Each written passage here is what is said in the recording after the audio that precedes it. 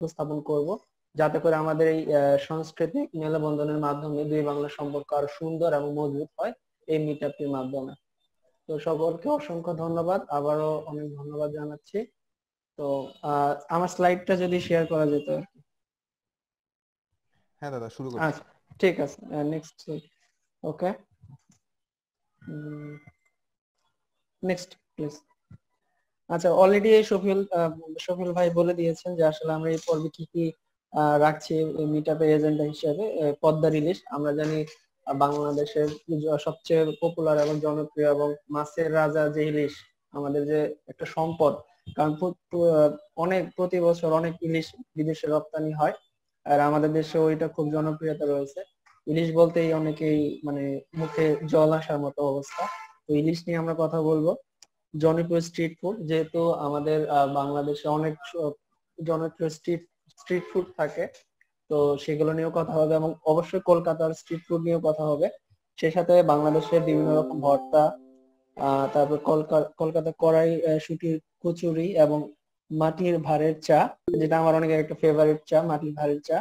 এছাড়া কলকাতার বিরিয়ানি এবং বাংলাদেশের কাচ্চি বিরিয়ানি নিয়েও কথা হবে এবং অবশ্যই যেহেতু সামনে শীত আসতেছে, শীতেরও অনেক পপুলার যে পিঠাগুলো রয়েছে, পুলি পিঠা এবং তার যে পৌষ পার্বণ উৎসব, এগুলো নিয়েও কথা হবে। তো আমি এখন নেক্সট স্লাইডে যাচ্ছি। আচ্ছা ইলিশ বলতে আমরা প্রথমে যে কথা সরি মাছ বলতে যে কথাটা প্রথমে চলে আসে সেটা হচ্ছে আমাদের ইলিশ মাছ, পদ্মার ইলিশ। মূলত পদ্মার ইলিশটা অনেক সুস্বাদু হয় এবং এটা প্রচুর টেস্ট রয়েছে।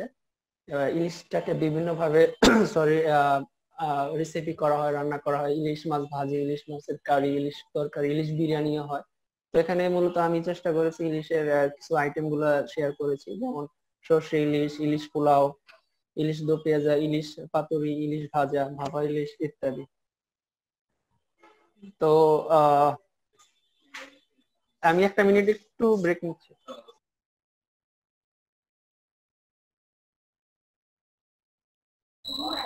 জামদানি ইলিশ মাছটা আমাদের এরকম একটা ট্রেডমার্ক এটা আমাদের একটা সিগনেচার কি বলে আপনার, একটা সিগনেচার আইটেম আমাদের দেশের জন্য ইলিশ মাছ সো যারা ইলিশ খায় নাই, তারা হচ্ছে বুঝবে না কোনোদিন যে কি খায় নাই ওরা আসলে। মানে এমন একটা মানে মাছ আমার খুবই ফেভারিট মাছ ইলিশ স্পেশালি ইলিশটা স্পেশালিটিটা হচ্ছে এটার সুগন্ধটার জন্য। আপনি যদি তাজা ইলিশ কখনো যাদের বা বাংলাদেশের যাদের বাড়ি হচ্ছে বরিশাল অঞ্চলে স্পেশাল হচ্ছে ভোলা বা ওই সাইডে ভোলা বুরহানুদ্দিন ওইসব সাইডে তারা হচ্ছে তাজা একদম ইলিশটা নদী থেকে নিয়ে খেতে পারে হ্যাঁ? এবং হচ্ছে প্রতি বছর আমরা প্রচুর ইলিশ স্পেশালি ইন্ডিয়াতে আমরা হচ্ছে এক্সপোর্ট করি। আমরা হচ্ছে লার্জেস্ট এক্সপোর্ট এক্সপোর্ট কান্ট্রি ইলিশের ইন্ডিয়া না, আমরা আসলে ইউরোপ, আমেরিকা সহ আমি মালয়েশিয়াতে থাকি। আমাদের মালয়েশিয়াতেও বাংলাদেশের পদ্মার ইলিশটা পাওয়া যায় এখানে এটা খুবই পপুলার এটা লোকালরাও খুব পছন্দ করে এটা। সো হচ্ছে আপনারা আপনাদের সবার ইনভাইটেশন থাকল, বাংলাদেশে এসে এটা হচ্ছে must try food must try food item ইলিশ ভাজা অ্যাটলিস্ট খাইতে হবে, বা ইলিশের সর্ষে ইলিশ খাইতে হবে। না খাইলে বাংলাদেশের একটা মানে গ্রেট মিস করে গেলেন। আমার মনে হয় শাহেদ ওকে হয়ে গেছো তাই না? জি জি ভাই। তো ভাইয়া ধন্যবাদ। আমার এই শাহেদ আমি একটা কথা বলতে একটু। ধন্যবাদ পাভেল দা সম্পর্কে এত সুন্দরভাবে শেয়ার করার জন্য। যারা মিট আপ চলাকালীন কথা বলছেন না তারা দয়া করে আপনাদের মাইক্রোফোন গুলোকে মিউট করে রাখুন। শাহেদ দা আপনি কন্টিনিউ করেন। ধন্যবাদ। আচ্ছা ধন্যবাদ পাবেল দা পিতেশ দা। পাবেল দাকে অসংখ্য ধন্যবাদ সুন্দর সুন্দর ইনপুট দেওয়ার জন্য। তো ইলিশ নিয়ে আর কি বলব? ইলিশ কথা বলার চেয়ে আপনারা খেয়ে দেখলে বুঝতে পারবেন যে আসলে ইলিশের ব্যাপকতা কতটুকু, কত টেস্ট হতে পারে। পদ্মার ইলিশ। নেক্সট স্লাইড প্লিজ আচ্ছা এগুলো মূলত আমি চেষ্টা করেছি বাংলাদেশে যে স্পেশালি যে ফুড স্ট্রিট ফুডগুলো রয়েছে, প্রায় যতটুকু আমি স্টাডি করে জানতে পেরেছি এবং যতটুকু অভিজ্ঞতা আছে, প্রায় একশো তিরিশ পদের রাস্তায় মানে বিভিন্ন পদের খাবার পাওয়া যায়, যার মধ্যে হচ্ছে ছোলা, ডালপুরি, জিলাপি, বিভিন্ন ধরনের বুট, ছোলা, বাদাম, নুডলস, সালাদ, আলু সেদ্ধ স্যুপ, বেলপুরি চটপুরি ফুচকা, সিঙ্গারা, সমোসা, জিলাপি, মুগলাই, অনেক ধরনের খাবার পাওয়া যায়, যেগুলো আপনারা প্রত্যেক দিন বাইরে বের হলে এগুলো এক্সপিরিয়েন্স করতে পারেন। তো এগুলো মূলত আমাদের স্ট্রিট ফুডের কয়েকটি ছবি এবং ছোট করে শেয়ার করেছি। এছাড়া আরও অনেক ধরনের স্ট্রিট ফুড রয়েছে গ্রামে এবং শহরে। তো আপনারা হোপফুলি সবই সবকিছু এক্সপিরিয়েন্স করেছেন। তো এই তো নেক্সট স্লাইড আচ্ছা এটা হচ্ছে বাংলাদেশের বিভিন্ন রকম ভর্তা। আসলে ভর্তা যে কত ধরনের হতে পারে ইদানিং ইদানিং না সবসময় বিভিন্ন হোটেলে ভালো ভালো রেস্তোরাঁতে বিভিন্ন ভর্তার আইটেম এমনও ভর্তার আইটেম আমি নিজেও কখনো নাম শুনিনি। এরকম হাজার শত শত ভর্তার আইটেম থাকে। আমি মূলত এখানে নিম্নে কিছু ভর্তার নাম শেয়ার করেছি। যেমন হচ্ছে আলু ভর্তা, বেগুন ভর্তা, ডিমের ভর্তা ওকে মুসুর ডালের ভর্তা, চিংড়ি মাছের ভর্তা, টাকি মাছের ভর্তা, এটা অনেক ফেভারিট টমেটো ভর্তা, কালিজিরা ভর্তা। কালিজিরা ভর্তাটা কিন্তু খুবই গুরুত্বপূর্ণ। কারণ হচ্ছে কালিজিরা ভর্তা খেলে আপনার ঠান্ডা বা আদার যে প্রবলেমগুলো হয়, অসুস্থতা, এটা আমাদের ইসলামিক ভাবে মানে বলা হয়েছে যে মৃত্যু ছাড়া সকল পদের সকল ওষুধের সমাধান হচ্ছে কালিজিরা ভর্তা। সেটা আপনি ভর্তা করে খান, এমনি খান বা যেভাবে ইউজ করে খান। এটা খুব গুরুত্বপূর্ণ একটা ভর্তা, সরিষা ভর্তা, শুটকি ভর্তা। তো এছাড়া আরও অনেক পদে ভর্তা হয়ে থাকে। তো ভর্তা আসলে আমাদের একটা জনপ্রিয় খাবার। আর নানান পদে ভর্তা আসলে বাংলাদেশে এবং কলকাতাতেও অ্যাভেলেবেল থাকে। তো এই তো ভর্তা নিয়ে কথাবার্তা হলো। নেক্সট আচ্ছা বিরিয়ানি বলতেই আসলে চোখে সরি জিভে জল এসে যায়। বিশেষ করে সেটা যদি হয় কাচ্চি বিরিয়ানি। বাংলাদেশে অনেক পপুলার এবং খুবই জন মানে খুবই ডিমান্ডেবল একটা খাবার হচ্ছে ট্রেডিশনাল কাচ্চি বিরিয়ানি। আর আপনাদের সবার মানে নিমন্ত্রণ থাকবে যদি পুরান ঢাকা যেতে পারেন হাজি, নান্না, হানি, ফখরুদ্দিনের বিভিন্ন ধরনের বিরিয়ানি থাকে। বিভিন্ন কাচ্চি বিরিয়ানি বিভিন্ন স্পেশালিটি থাকে। তো পুরান ঢাকা এলে বিরিয়ানি না খেয়ে গেলে আপনি পুরোটাই লস পুরান ঢাকা এসেছেন অফিসে বিরিয়ানি খান না, তাহলে আপনার মানে ট্রাভেল করাটাই সার্থক হবে না। তো আমি অবশ্যই এছাড়াও বিভিন্ন লোকেশনে বড় বড় ধরনের হোটেল থাকে রেস্তোরাঁ থাকে, সেখানেও ভালো মানে ফুড সার্ভ করে কাচ্চি বিরিয়ানি। তবে কাচ্চি বিরিয়ানির জন্য সবচেয়ে ফেমাস জায়গা হচ্ছে আমাদের ঢাকা, পুরান ঢাকা। হ্যাঁ ভাইয়া বললেন যে বাসমতি চালের বিরিয়ানি। হ্যাঁ এটা অবশ্যই ভাই এটা আরও অনেক টেস্টি তো আশা করি সবাই এই জিনিসটা টেস্ট করবেন। আর ওকে নেক্সট স্লাইড এছাড়া বিরিয়ানির পাশাপাশি যে দুইটা খাবার আনা আমার মনে হচ্ছে প্রয়োজন, সেটা হচ্ছে মোরগ পোলাও, যেটা আমাদের দেশি মুরগি বা পাকিস্তানি মুরগি দিয়ে করা হয় মোরগ পোলাও করা হয়। এছাড়া মুরগির ভুনা খিচুড়িও আমাদের দেশের মোটামুটি জনপ্রিয়তা রয়েছে। তো এটাও আপনারা টেস্ট করতে পারেন। বিশেষ করে যারা কলকাতায় রয়েছেন বা ওয়েস্ট বেঙ্গলে, তারা এই দুটাও টেস্ট করে দেখতে পারেন। এটাও আমাদের পুরান ঢাকাতে বিভিন্ন দোকান রয়েছে বা বিভিন্ন স্থানীয় লোকেশনেও কিন্তু ভালো মানের মোরগ, পোলাও বা বোনা খিচুড়ি পাওয়া যায়। এছাড়া বোনা খিচুড়ি কিন্তু এইভাবে না দেখে আরেকটা ভাবে পাওয়া যায় যে চিকেন কারি উইথ বোনা খিচুড়ি। এটা কিন্তু অনেক জনপ্রিয়। ওকে নেক্সট আচ্ছা এটা হচ্ছে লাস্ট একটা স্লাইড এটাতে আমি চেষ্টা করেছি যে শীতকালীন শীতকালে যে শুধু পিঠাপুলি হয় তা নাই এছাড়া কিন্তু অনেক ধরনের পিঠা হয়ে থাকে। এখানে বিশেষ করে যে পাটিসাপটা পিঠা, এটা অনেক আমার ফেভারিট এটাও হয়। আর পিঠে পুলি যেটা কিন্তু দুই ভাবে করে। একটা হচ্ছে ড্রাই ড্রাই মানে শুকনোর মতো। আরেকটা হচ্ছে যে দুধে পুলি পিঠে, যেটা ভিজিয়ে রাখা হয় রাতে। সকালে সেটা নিয়ে খাওয়া হয়। এটা অনেক টেস্টি হয়, যেটা দুধে ভেজানো হয়। এছাড়া বিভিন্ন রকমের ভালো মানের পিঠা, বিভিন্ন নামের নামের পিঠা রয়েছে। যেমন তেলে পিঠা, যেটাকে অনেক সময় মালপোয়া বলা হয়। ভাপা পিঠা, অনেক ধরনের পিঠা রয়েছে, আর চিতই পিঠা, আশকি পিঠা, তেলের পিঠা, ঝাল পিঠা, বিভিন্ন ধরনের পিঠা রয়েছে। তো আসলে পিঠের অনেক নাম রয়েছে, বিভিন্ন দেশে বিভিন্ন ডিস্ট্রিক্টে আসলে পিঠার নাম একটু চেঞ্জেস হতে পারে আমাদের এখানে। কিন্তু সবগুলোই হচ্ছে খুবই বিখ্যাত এবং জনপ্রিয় পিঠা। বিশেষ করে ময়মনসিংহে পাবিল ভাই রয়েছেন। ওনার ডিস্ট্রিক্টেও বেশ কিছু পিঠা রয়েছে, আমি এক্সপিরিয়েন্স করতে পেরেছিলাম। সেগুলাও অনেক যেমন হচ্ছে তারকা পিঠা হার্ট পিঠা বিভিন্ন শেপের হয়। হ্যাঁ, হ্যাঁ তোমার তোমার স্লাইড শেষ হইলে আমি একটু শেয়ার করব না। হ্যাঁ ওই পিঠাগুলা হচ্ছে তাল তাল পাতার ইয়া দিয়ে নকশা করা হয়। নকশা করে যে পিঠাগুলো হয় অনেক আঠালো হয় গুড়ের। তো এগুলাও অনেক ভালো মানের পিঠা এগুলো খুব টেস্টি হয়। আসলে পিঠা খেতেও যেমন মজা আর পিঠাগুলো দেখতেও অনেক সুন্দর হয় এবং মজা হয়। তো আসলে বিভিন্ন জেলায় বিভিন্ন নামে পিঠা হয়। এমন অনেক পিঠা আছে যে একই পিঠা, কিন্তু অঞ্চল ভেদে তার নামটা একটু পরিবর্তন বা আলাদা থাকে। তো এই হচ্ছে আমার একটা সংক্ষিপ্ত পরিবেশন। আসলে ব্যস্ততার মাঝে মাঝে এতটুকু সময় দিতে প্রেজেন্ট করাটা এবং এটা একটু টাফ ছিল। আমি চেষ্টা করছি সংক্ষেপে যতটুকু পারার চেষ্টা করেছি। তো তারপর যদি কোনো কোশ্চেন থাকে, আমরা আছি। পাবি ভাই আছেন, অন্যান্য হোস্ট আছেন। তো কোশ্চেন করলে আমি চেষ্টা করব আনসার দেওয়ার জন্য। সবাইকে অসংখ্য ধন্যবাদ আমার প্রেজেন্টেশন দেখার জন্য। থ্যাংক ইউ হ্যাঁ আমি শাহেদের সাথে কিছু বিষয় অ্যাড করতেছি। হ্যাঁ যে শাহেদ হ্যাঁ। চমৎকার উপস্থাপন করছে আমাদের। মানে সব কয়টা দিকেই শাহেদ কভার করার চেষ্টা করছে। তো পাশাপাশি এইগুলোর বাইরেও বাংলাদেশে কিছু সিগনেচার ফুড আছে যেগুলো অন্য দেশে হয় না। বা হচ্ছে বা বাংলাদেশের সব জায়গায় এটা হয় না।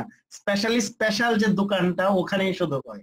তো এরকম সিগনেচার কিছু খাবার আইটেমের মধ্যে হচ্ছে আপনার মাস্ট্রাই কিছু, আমাদের কিছু ইউনিক ড্রিঙ্কস আছে বুরহানি সো আপনি কাচ্চি বিরিয়ানি খাবেন আর সাথে বুরহানি খাবেন না, তাহলে হচ্ছে আপনার কাচ্চি বিরিয়ানি খাওয়াটা হচ্ছে অপূর্ণ থেকে যাবে। সো আপনার বুরহানি হচ্ছে স্পেশালি আমরা বিয়ে বাড়িতে বুরহানিটা একটা কমন প্র্যাকটিস যে বুরহানিটা থাকতেই হবে। এরকম হচ্ছে বুরহানি। তারপরে আছে হচ্ছে রসমলাই। সো আমরা বাঙালিরা প্রচুর মিষ্টি পছন্দ করি। যেমন বাংলা হচ্ছে ওয়ার্ল্ডের সবচেয়ে বেশি সুইট সুইটস ল্যাঙ্গুয়েজ সো এরকম আমরা প্রচুর সুইটস পছন্দ করি। সো রসমালাই হচ্ছে এরকম একটা ইউনিক যেমন আমাদের কিছু কিছু জেলায় কিছু কিছু মিষ্টি জাতীয় পণ্য খুবই ইউনিক যেমন আপনারা যদি বাংলাদেশে আসেন, আর আর আমাদের শাফিউল বাসার ভাইদের কুমিল্লায় যাবেন আর আর হচ্ছে কুমিল্লার রসমালাই খাবেন না, তাহলে হবে না। বিষয়টা এরকম। বা হচ্ছে আপনি টাঙ্গাইল যাবেন, কিন্তু টাঙ্গাইলের চমচম খাবেন না, তাহলে হবে না। আপনি মোমো সিং যাবেন আর মুক্তা খাবেন না, তাহলে হবে না। এরকম। সো হন্ডারও হচ্ছে কিছু ইউনিক মানে এটা একটা ইউনিক স্টোরি আছে। যে রাজা একসময় স্বপ্নে দেখছিল তার এরকম খাইতে হবে।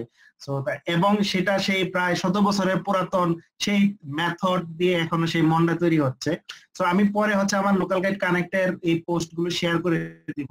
আপনারা আরও ডিটেইল হচ্ছে মুক্তাগাছার মন্ডা বা আদার্স ফুডগুলো সম্পর্কে জানতে পারবেন। তারপর আচ্ছা ভাই আমি আচ্ছা ঠিক আছে আপনি পরে আমি একটা শেয়ার করব। ওকে সো তারপরে হচ্ছে যেমন আমাদের পুরান ঢাকার একটা, আমি যেহেতু পুরান ঢাকায় থাকছি, বিশ্ববিদ্যালয়ে পড়া সুবাদে তো আমার, আমি প্রায় পুরান ঢাকায় থাকছি সাত বছর। আমি পুরান ঢাকার মতো কথাও বলতে পারি মানে আদি ঢাকার কথা অনেকটা আমাদের কলকাতার মতো। তো হচ্ছে ওখানে পপুলার খাবার ছিল হচ্ছে প্রতিদিন আমি নাস্তা করতাম বিকেলে হচ্ছে নাস্তা করতাম, সেটা হচ্ছে দই চিরা। তো দই চিরাটা খুবই হচ্ছে খুবই পপুলার একটা খাবার। আপনারা, এটা মাস্ট ট্রাই একটা খাবার। হ্যাঁ আর এছাড়া হচ্ছে আমাদের দেশে বিভিন্ন প্রকার দই পাওয়া যায়। আর মিষ্টি দই পাওয়া যায়, টক দই পাওয়া যায়।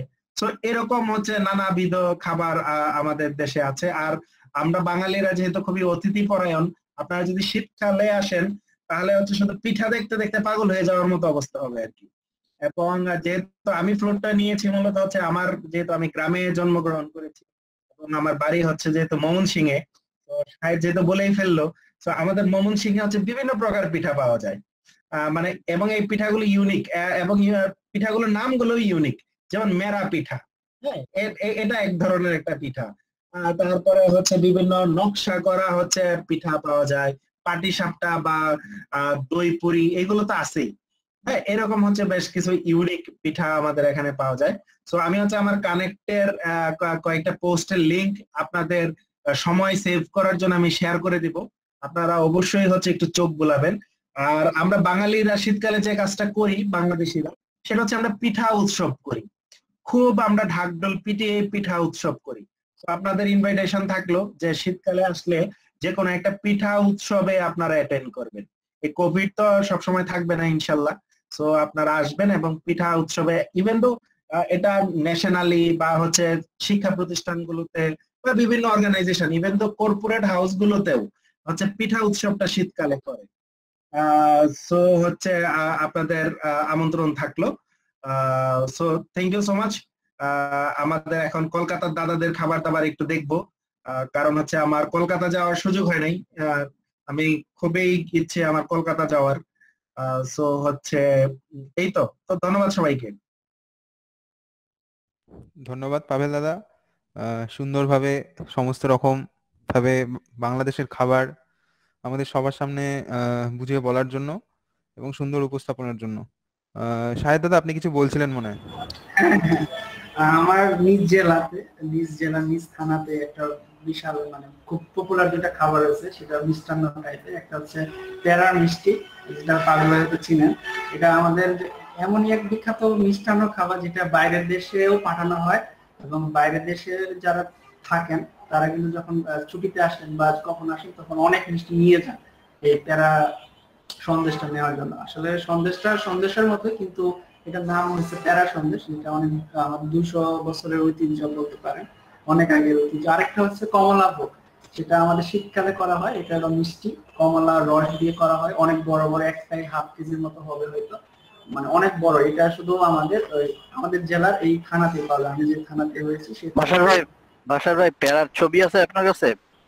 আচ্ছা আমি আমার পোস্টে হ্যাঁ, আমি- হ্যাঁ ছবিগুলো দিয়ে দাও। আর হচ্ছে তোমার কাছে কি বালিশ মিষ্টির ছবি আছে নাকি?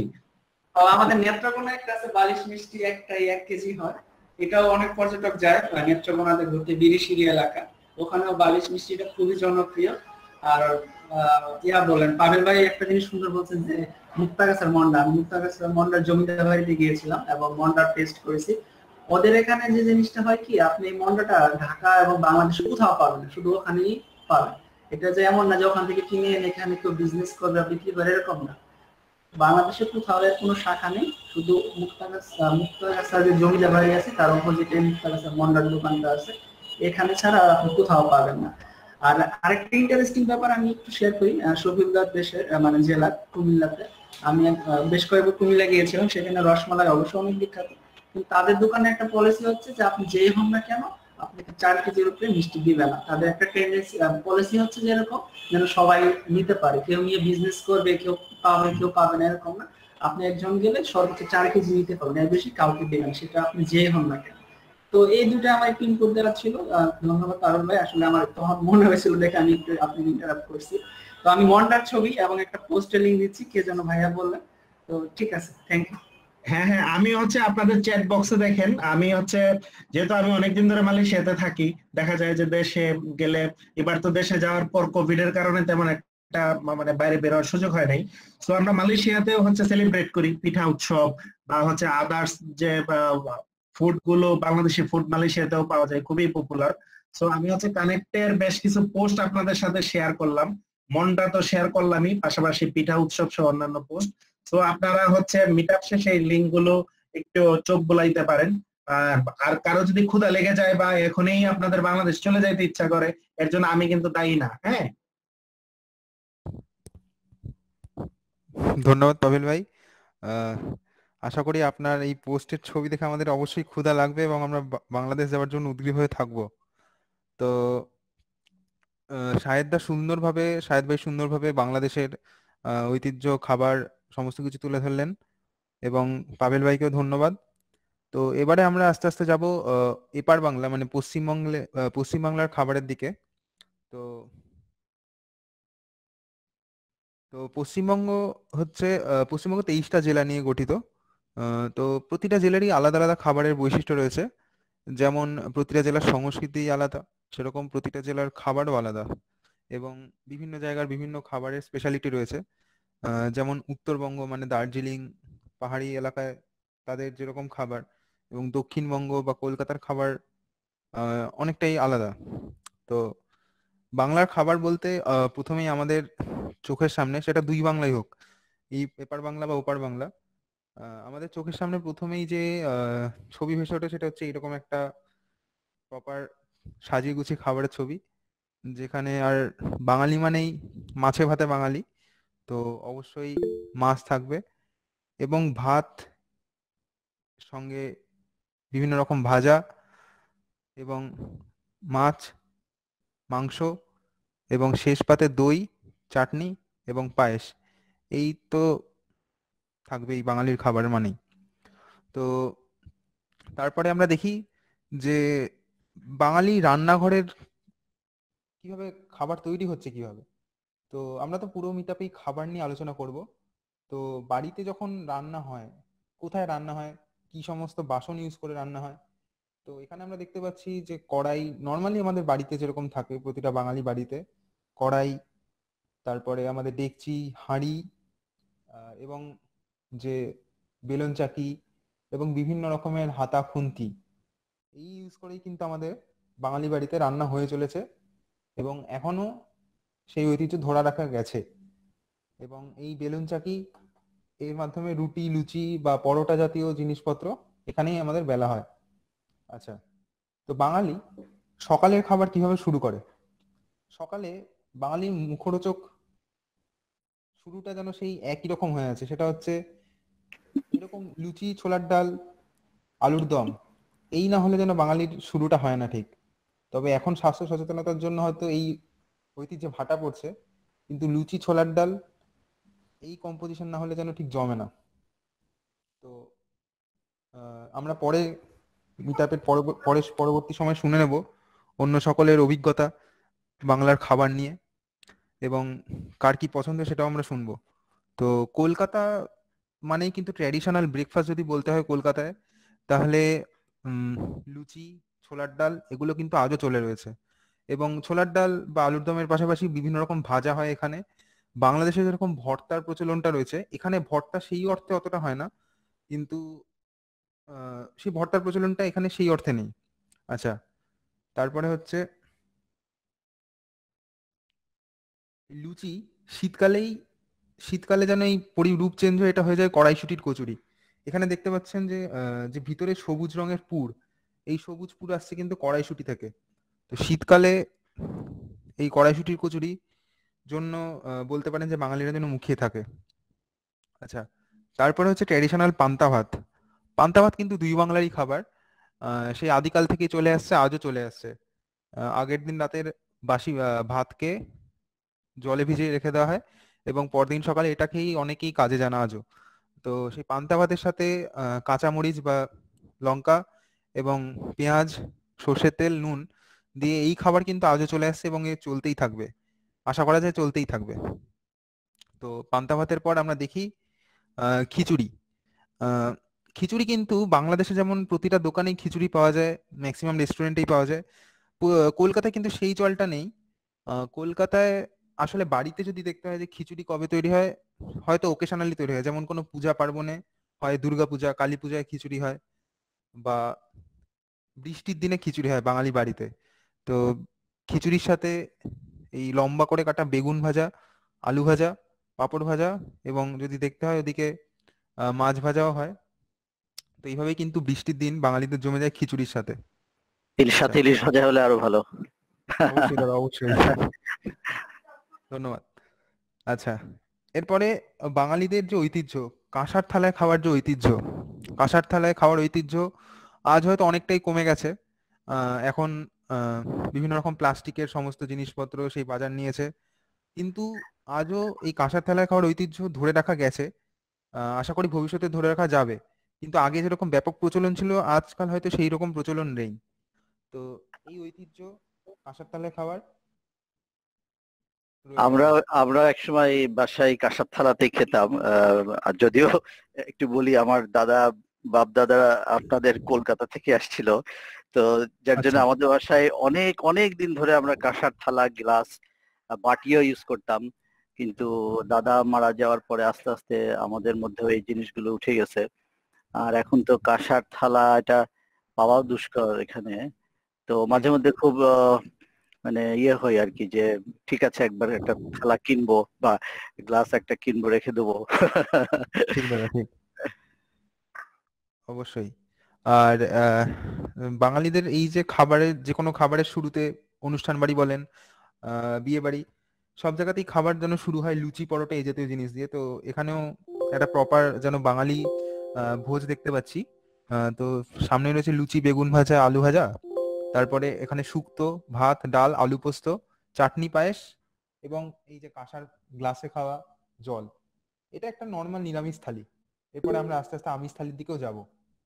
তো এরপরে হচ্ছে উৎসব উপলক্ষে খাওয়া দাওয়া দেখে নিই বাঙালির।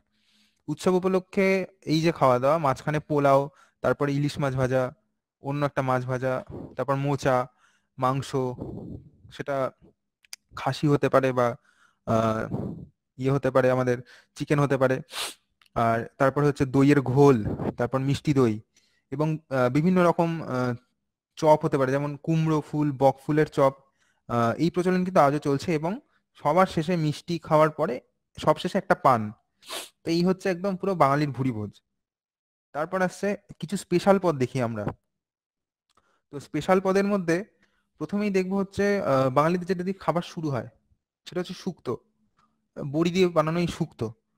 তো এই বড়ি বড়ির কিন্তু বাংলার একটা ইতিহাস আছে। তো সেই অনেক আগে থেকেই বড়ি চলে আসছে এবং বাংলায় গয়না বড়ি বলেও একটা জিনিস আছে। সেই বড়ির শেপ হচ্ছে গয়নার মতো হয় একদম। তো এই শুক্তো শুক্তো দিয়ে শুরু হচ্ছে খাবার। তারপরে চলেন দেখা যাক কি আছে। আচ্ছা শুক্তোর মধ্যে বিভিন্ন রকম ডাঁটা দেওয়া হয় এবং বিশেষ করে যে অনুষ্ঠান বাড়ির যে শুক্তো, সেই শুক্তো কিন্তু আসলেই অসাধারণ টেস্টের একটা হয়। আচ্ছা তারপরে রয়েছে হচ্ছে সর্ষে ইলিশ, যেটা আমাদের পাভেল ভাই এবং সাহেদদা বললেন যে বাংলাদেশের ইলিশ অবশ্যই কলকাতাতে তো সেই ইলিশ বাংলাদেশ থেকে আসা, আনা হয়। এই বছর আসছে প্রচুর। এবং ইলিশ মানেই সর্ষে ইলিশ, ভাপা ইলিশ। গরম ভাতে অসাধারণ টেস্ট। আচ্ছা তারপর হচ্ছে ভেটকির পাতুরি, কলা পাতায় মুড়ে ভেটকি পাতুরি। তো যারা নিরামিষ খান তাদের জন্য ভেটকির পাতুরির একটা অন্য জিনিস বানানো গেছে, সেটা হচ্ছে পনির পাতুরি। জাস্ট ভেটকি মাছের জায়গায় ভিতরে পনির থাকে। ব্যাপার কিন্তু পুরো এক, কলা পাতায় মুড়ে একই রকম ভাবেই খাওয়া হয়। তো বাঙালি মানেই মাছে ভাতে বাঙালি। তো আরও দেখা যাক কি কি পদ রয়েছে। আচ্ছা তারপরে রয়েছে হচ্ছে গিয়ে বাঙালির কষা মাংস। চিকেন হতে পারে, মাটন হতে পারে। আচ্ছা ভেটকি পাতুরি আমরা দেখালাম, সর্ষে ইলিশও দেখালাম, আর চিংড়ির মালাইকারি। দুই পার বাংলার মধ্যে কিন্তু কলকাতায় এই ব্যাপারটা এখনও রয়ে গেছে। দেশভাগের পর যারা ওই পার বাংলা থেকে এপার বাংলা এসেছিলেন, তো সেই বাঙালার ঘটির সেই লড়াই, কারা চিংড়ি খাবে, কারা ইলিশ খাবে চিংড়ি ইলিশের লড়াই, সেই লড়াই কিন্তু আজও চিরন্তন এবং সেই লড়াই খেলার মাঠেও মোহনবাগান ইস্টবেঙ্গলেও চলে গেছে এখন। মোহনবাগান ইস্টবেঙ্গল থেকেও চলছে। মোহনবাগান মানে ঘটি ইস্টবেঙ্গল মানে বাঙাল এবং চিংড়ি ইলিশ, দুই ক্লাবের কিন্তু আলাদা আলাদা খাবার। কিন্তু এইভাবেই চলে আসছে। আচ্ছা তারপর হচ্ছে কলকাতার বিরিয়ানি। কলকাতার বিরিয়ানি আর বাংলাদেশের কাচ্চি বিরিয়ানি। কলকাতার বিরিয়ানির আমি বাংলাদেশের কাচ্চি বিরিয়ানি সম্পর্কে ঠিক জানি না।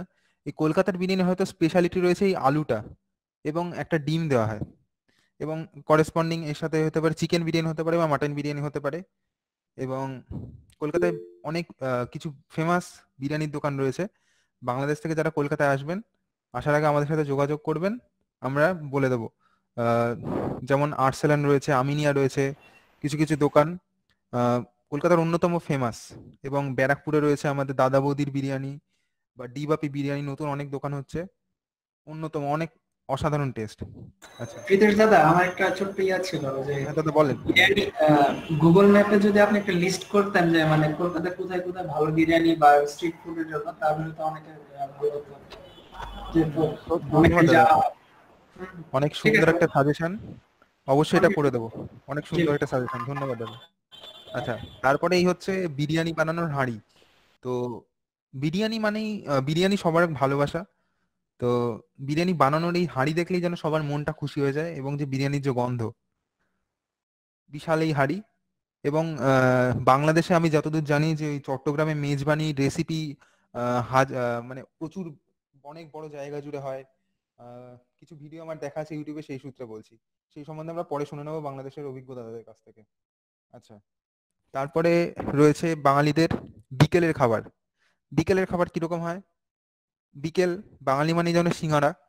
তো সিঙ্গারা নর্মাল আমরা সিঙ্গারা খাই, আবার কেউ কেউ আবার ঘুগনির মধ্যে সিঙ্গারা মিশিয়েও খায়। ঘুগনির মধ্যে চাটনি দিয়ে সিঙ্গারা মিশিয়ে, তো এটা একটা সামোসা চাট টাইপের হয়ে যায়। তো সিঙ্গারা মুড়ি। বাংলার মানে পশ্চিমবঙ্গের প্রতিটা দোকানে, মিষ্টির দোকানে কিছু না পাওয়া যাক, বিকালবেলা সিঙ্গারা পাওয়া যাবেই। আচ্ছা এছাড়াও রয়েছে আলুর চপ। আলুর চপ, মুড়ি, লঙ্কা। তাছাড়াও একটা চপের দোকানে এইরকম বিভিন্ন রকম সাজানো থাকে। আপনি আপনার পছন্দ অনুযায়ী কিনে নিতে পারবেন।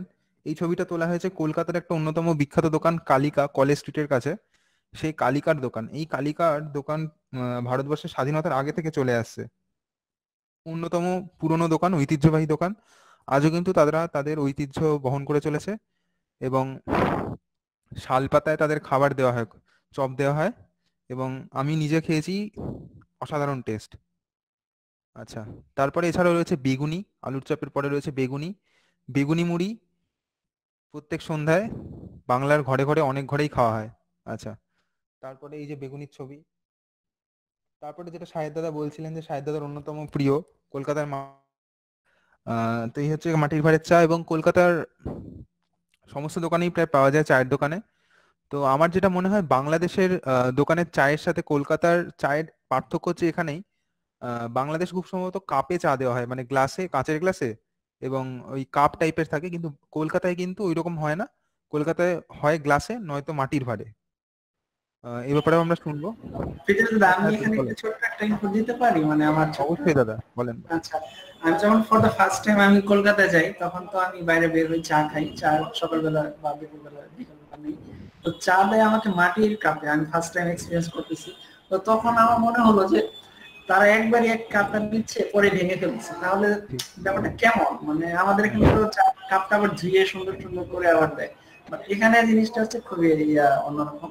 আর একটা সিটি অফ জয় কলকাতা আছে সিটি অফ জয় তো সিটি অফ জয় হলেই আহ, মানে যদি কেউ মিন করেন তাহলে এই জিনিসটা চলে আসবে ছবিতে। আই থিঙ্ক সো ঠিক দাদা। ধন্যবাদ দাদা। আহ, তবে বর্তমান পরিস্থিতিতে আহ, করোনা পরিস্থিতিতে লোকজন আহ, আমাদের এখানে গ্লাস বা কাপে খাওয়ার বদলে তারা এই ডিসপোজেবল জিনিসপত্রে খাওয়াই পছন্দ করছে। তো তারপরে যেটা রয়েছে এটা তো গেল পশ্চিমবঙ্গের দক্ষিণবঙ্গ, কলকাতা অঞ্চলের ফুড যদি উত্তরবঙ্গ দেখতে হয়, কারণ পশ্চিমবঙ্গ তো শুধু কলকাতা নিয়ে নয় উত্তরবঙ্গে রয়েছে। তো উত্তরবঙ্গে যেমন দার্জিলিং, কালিম্পং, তো সেই সব জায়গার ফেমাস ফুড বলতে যেটা প্রথমেই মাথায় আসে, প্রথম এবং একমাত্র সেটা হচ্ছে মোমো। তাদের ওখানকার মোমো চিকেন স্টু এই সমস্ত স্যুপ জাতীয় জিনিসপত্র। তো নর্থ বেঙ্গল আপনারা যদি কেউ আসেন পশ্চিমবঙ্গে, তাহলে দার্জিলিং বা কালিম্পং বা সিকিম সিকিম, গ্যাংটক তো আলাদা রাজ্য হয়ে গেল। তো সেখানে গেলে কিন্তু তাদের মোমো মাস্ট ট্রাই আচ্ছা এই হচ্ছে উত্তরবঙ্গের মোমো। আচ্ছা এরপরে আসছে শীতকালীন পিঠেপুলি। শীতকালীন পিঠেপুলির মধ্যে প্রথমে আসে পাটিসাপটা। আচ্ছা পাটিসাপটা এখন বর্তমানে ঘরে ঘরেই বানানোর প্রচলনটা অনেকটাই কমে গেছে, অনেক কমে গেছে। তো এখন দোকানে দোকানে কিছু দোকান তারা চেষ্টা করছে বিক্রি করার বিক্রি করে ঐতিহ্যটা বাঁচিয়ে রাখার। কারণ আমার মনে হচ্ছে ছোটবেলায় আগে যখন ওই শীতকালে পৌষ পার্বণের সময় যেভাবে পাটিসাপটা বানানো হতো বাড়িতে পাট, পাটিসাপটা বা অন্যান্য পিঠে, বর্তমানে সেটা হয়তো হচ্ছে না এবং সেই আমাদের মাদের সময় অবধি এসেই হয়তো ওটা থেমে গেছে। আমাদের যে নতুন যে জেনারেশন আমরা হয়তো সেটা শিখে নিতে পারিনি। এটা আমাদেরও একটা ভুল রয়েছে। তো চেষ্টা করব আমরা ঐতিহ্যটাকে বজায় রাখার। আচ্ছা এরপরে রয়েছে নলেন গুড়ের সন্দেশ, শীতকালীন। শীতকাল মানেই নলেন গুড়ের বিভিন্ন রকম সন্দেশ আছে এর মধ্যে নরম পাক, কড়া পাকের সন্দেশ, নরম পাকের সন্দেশ অন্যতম ফেভারিট সবারই। তো এখানে ছবিতে দেখা যাচ্ছে বিভিন্ন রকমের সন্দেশ। মাঝখানে যেগুলো একটু বেশি গাঢ় কালার সেগুলো হচ্ছে কড়া পাক এবং অন্যগুলো নরম পাকের সন্দেশ আছে এখানে। আচ্ছা তারপর আমরা দেখব রসবড়া। শীতকালীন এগুলো সব। এই রসবড়া গরম গরম খেতে খুবই ভালো লাগে। তো এর উপকরণটা আমার জানা নেই। রসবড়া বাড়িতে আমি দেখেছি হতে এবং খুবই সুন্দর টেস্ট হয়। তারপরে হচ্ছে চিতই পিঠা। চিতই পিঠা হচ্ছে খুব সম্ভবত চাল দিয়ে বানানো এবং চালের গুঁড়া দিয়ে। এবং এই পিঠা হচ্ছে বাংলায় আখের গুড়ের সাথে খাওয়া হয়। আখের গুড় বা খেজুর গুড়ের সাথে শীতকালে। মকর সংক্রান্তির দিন বা পৌষ সংক্রান্তির দিন। আচ্ছা এরপর হচ্ছে দুধ পুলি দুধ পুলি দুধ পুলি অসাধারণ। এটা যেন অনেকটা সেই রসমালাইয়ের মতো মানে মালাইটা বলতে পারেন, কিন্তু যে জিনিসটা ভিতরের, এটা কিন্তু অনেক পিঠে। হ্যাঁ এর মধ্যে শক্ত নার- নারকেলের পুর থাকে এবং অসাধারণ লাগে খেতে দুধপুলি এছাড়াও আছে গোকুল পিঠে। গোকুল পিঠে আচ্ছা। তারপরে আমরা দেখি পশ্চিমবঙ্গের কিছু street food Kolkata street food. Street ফুডের মধ্যে প্রথমেই যেটা, সেটা হচ্ছে কচুরি আর আলুর তরকারি। এটা হচ্ছে পশ্চিমবঙ্গের সব জায়গায়, সমস্ত জায়গায় এই দোকান পাবেনি, কচুরির দোকান পাবেনি সকালবেলা। ব্রেকফাস্ট মানেই কচুরি।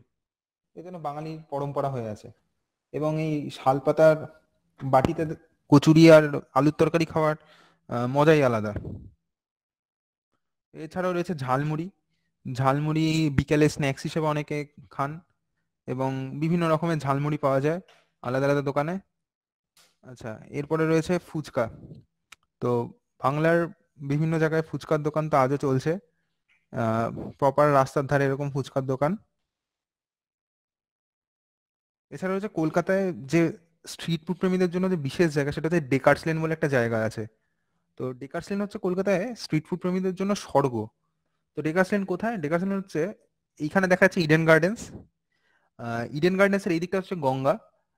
আপনি যদি মেট্রোয় আসেন দমদম থেকে বা যে কোনো জায়গা থেকে, চাঁদনি চকে নেমে একদম কাছেই এই জায়গাটা হচ্ছে ডেকার্স লেন এই ডেকার্স লেনের অন্যতম প্রিয় মানে সবচেয়ে জনপ্রিয় দোকান হচ্ছে চিত্তবাবুর দোকান। চিত্তবাবুর দোকানে এই চিকেন স্টু এবং টোস্ট এটা অন্যতম ফেভারিট আপনি যদি ম্যাপেও দেখেন চিত্তবাবুর দোকান, তো সবচেয়ে বেশি রেকমেন্ডেড খাবার হচ্ছে এইটা এবং অন্যতম জনপ্রিয়। প্রচুর ইউটিউবে ভিডিও রয়েছে চিত্তবাবুর দোকান নিয়ে এবং স্পেশালি চিকেন স্টু এবং টোস্ট নিয়ে। আচ্ছা শেষ পাতে মিষ্টি মুখ। বাঙালি মানেই শেষ পাতে মিষ্টি মুখ। শেষ পাতে মিষ্টি মুখে কীভাবে কি করা যায় দেখা যাক। আচ্ছা বাঙালি মানেই তো মিষ্টি দই দই। আমি জানি বাংলাদেশে বগুড়ার দই আর এপার বাংলায় রয়েছে পশ্চিমবঙ্গে নবদ্বীপ শান্তিপুরের মিষ্টি দই। অসাধারণ খেতে। তারপর হচ্ছে বীরভূমের চাছির কুলফি।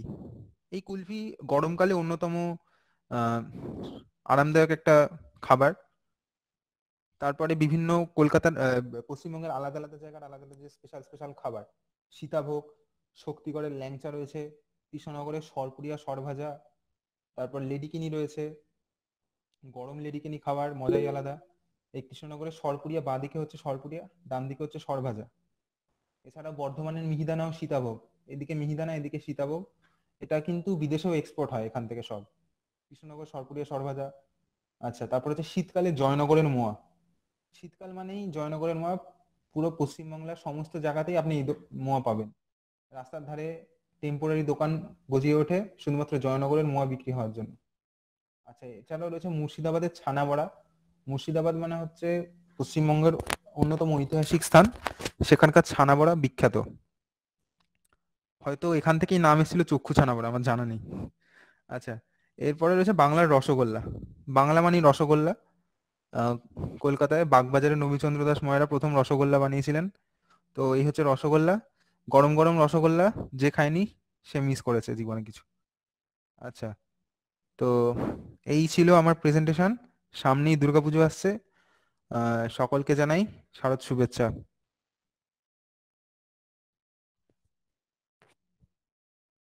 সফিল দাদা, আপনি কি শুনতে পাচ্ছেন? পরে আশা করি জিভে জল চলে এসেছে, আমার তো চলে এসেইছে। তো এই খাবারগুলো নিয়ে যদি আরও আরও কিছু বলার থাকে বা বিস্তারিত যদি কিছু জানার থাকে, তা তাহলে আপনারা, আপনাদের প্রশ্ন করতে পারেন বা সেক্ষেত্রে আমাদের প্যানেলের সবাই উত্তর দেওয়ার জন্য চেষ্টা করবে। আর এক্ষেত্রে যেটা বলার সেটা হ্যাঁ। আচ্ছা এই মুহূর্তে কি সফিউল্লাহ কি জয়েন করেছে? আচ্ছা কেউ যদি ফুড নিয়ে কিছু শেয়ার করতে চান যে আমার যেমন আমার একটা প্রশ্ন ছিল। হ্যাঁ তুহিন্দা বলেন। আচ্ছা তার আগে আমি একটা জিনিস বলে দিতে চাই। কারও যদি কোনো প্রশ্ন থাকে আপনারা একসাথে প্রশ্ন তো অডিও হিসেবে অন করলে করলে একটা বিশৃঙ্খলা সৃষ্টি হবে। তো ইয়েতে আপনারা চ্যাট বক্সে লিখুন বা একটা কোনো প্রেজেন্ট একটা ইমোজি দিন, তাহলে আমরা বুঝে যাব কার প্রশ্ন আসছে। তুহিন্দা বলেন। হ্যাঁ এই যে অনেক জায়গাতেই বিশেষ করে বাংলাদেশি নাটকে এই বুহানি বলে কথা শুনেছি এবং দেখেওছি, দেখে বেশ লোভনীয় মনে হয়েছে। তো বাংলাদেশে গেলে তো অবশ্যই খাব, কিন্তু তার আগে আমি বাড়িতে বানিয়ে খেতে চাই, কেননা এখানে তো আর বুড়ানি পাওয়া যাবে না। যদি কোনো পোস্ট যাতে বুড়ানির রেসিপি দেয়া আছে হ্যাঁ এরকম কোনো পোস্ট বা এখন যদি কেউ একটু শর্টে বলতে পারে খুব ভালো হয়। আচ্ছা আমি একটা লিংক ঘাটাঘাটি করে আমি আপনাকে দিচ্ছি। আমার তো রেডি করা নেই আমি দিচ্ছি চ্যাট বক্সে আমি শেয়ার করতেছি তোমার বুরহানি সম্পর্কে বুরহানি দিয়ে তৈরি করে। আচ্ছা তাহলে তো গ্রেট ভাই। এটা স্পাইসি ইয়োগার্ট টাইপের ড্রিঙ্কস বুঝছেন? আমি যেটা আগে বলছি যে এটা কি বলে, বিরিয়ানি বা তেহারি বা ভুনা, খিচুড়ি এগুলোর সাথে খায়। সো এই বুরহানিটা বা বানানোর যে ইনগ্রেডিয়েন্টস ইন ইনগ্রেডিয়েন্টসগুলো হচ্ছে আপনার মিন্ট তারপরে হচ্ছে চুমিন ইয়োগার্ট এইগুলি। সো এটার হচ্ছে বাংলাদেশের স্পেশাল কিছু রেস্টুরেন্ট আছে যে এই রেস্টুরেন্টের বুরহানি গুলোই হচ্ছে আপনার স্পেশাল বুরহানি। এমনিতে মার্কেটেও এখন রিফাইন বুরহানি পাওয়া যায় বাট মেনলি বুরহানি তৈরি করে হচ্ছে আপনার মেন উপাদানটাই হচ্ছে ইউগার্টটা আর কি। আমি হচ্ছে আপনাকে একটা লিংক শেয়ার করে দিচ্ছি চ্যাট বক্সে আপনি হচ্ছে বাসায় ট্রাই করতে পারেন।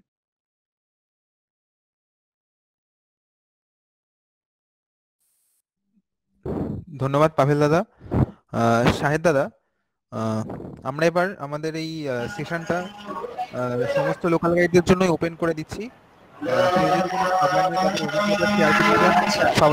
ওয়েলকাম আচ্ছা আমাদের সৌনক দাদা মনে হয় আমাদের একটা সেশনে সৌনক একটু জয়েন করে সৌনক দা জয়েন করে উঠতে পারেননি। আচ্ছা আচ্ছা। তো ঠিক আছে আমরা ততক্ষণ যারা উপস্থিত লোকাল গাইড আছেন। তাদের অভিজ্ঞতা শুনে নিতে চাই খাবার নিয়ে। আচ্ছা আমি একটু মাইকটা নিচ্ছি দুই মিনিটের জন্য। এখানে আমরা যারা লোকাল গাইড করি অনেকে আছে খাবার তুলতে বা খাবার তুলতে খুব পছন্দ করি এবং শেয়ার করতে পছন্দ করি গুগল ম্যাপসে বা আমাদের কমিউনিটি ফোরামে তো এখানে আমি যতটুকু জানি ভাইয়ের পাশাপাশি আমাদের শাকিল শাকিল ভাই রয়েছেন। উনি খুব ফুড প্রেমী। উনি যদি আমাদের সাথে কিছু স্পেশাল কোনো আইটেম বা কোনো একটা স্টোরি শেয়ার করতো তাহলে হয়তো বা আমাদের জিনিসটা আরও সুন্দর হতো। শাকিল ভাই কি আছেন? আমি আছি। আমি প্রিপারেশন নিয়ে আছি।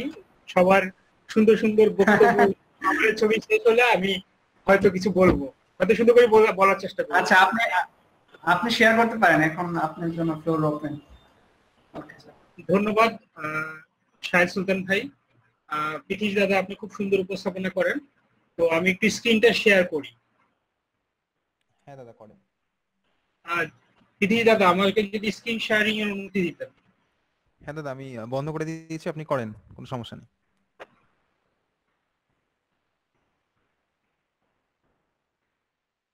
আমি একটা জিনিস বলে দিতে চাই আমাদের চ্যাট বক্সে আজকের ফটো অ্যালবাম লিংক দেওয়া হচ্ছে আপনারা স্ক্রিনশট নিয়ে সেখানে পোস্ট করতে পারেন। আমার স্ক্রিন কি শেয়ার হয়েছে দাদা? এখন অবধি তো আমি দেখতে পাচ্ছি না। এখনও দেখতে পাচ্ছেন না? না দাদা।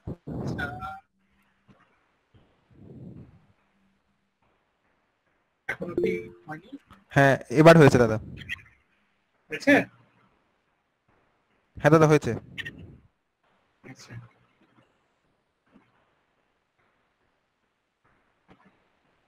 আর ধন্যবাদ সবাইকে। আমি হয়তো আপনাদের দশ থেকে পনেরো মিনিট সময় নিব।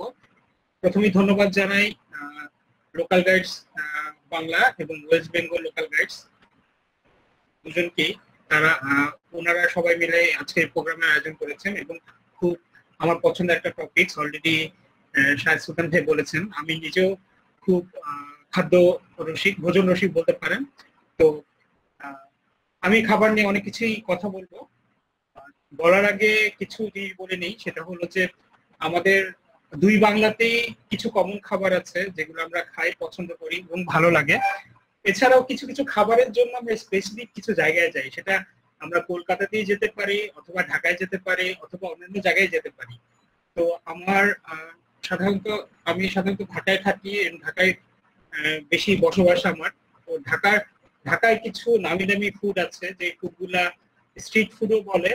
আবার আপনার মনে করেন যে স্ট্রিট ফুড ছাড়াও বলে যে স্ট্রিট ফুডের মতো এই দোকানটা আছে ঠিকই, কিন্তু কেউ ওখানে বসে খায় না, নিয়ে বাসায় নিয়ে যায় খায়।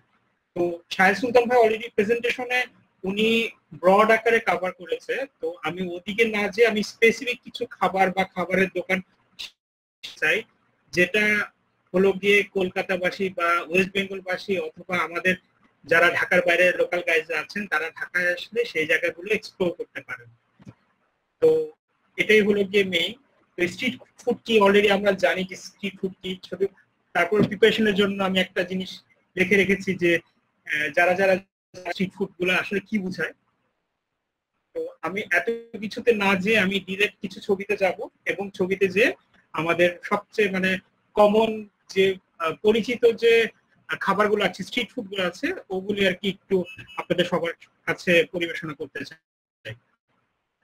অলরেডি শাহেদ ভাই বলেছে, তাও আমি একবার বলছি যে, ফুচকা হলো আমাদের দেশে খুব জনপ্রিয় একটা একটা খাবার। একদম উপরে বাম দিকে যেটা দেখতে পাচ্ছেন, এটা খুবই জনপ্রিয়, বিশেষ করে বাচ্চা, শিশু এবং হলো গিয়ে মেয়েরা খুব পছন্দ করে ফুচকা এবং তার সাথে আরেকটা খাবার আছে চটপটি, এটা সম্ভবত কলকাতাতেও আছে, আমি দেখেছি।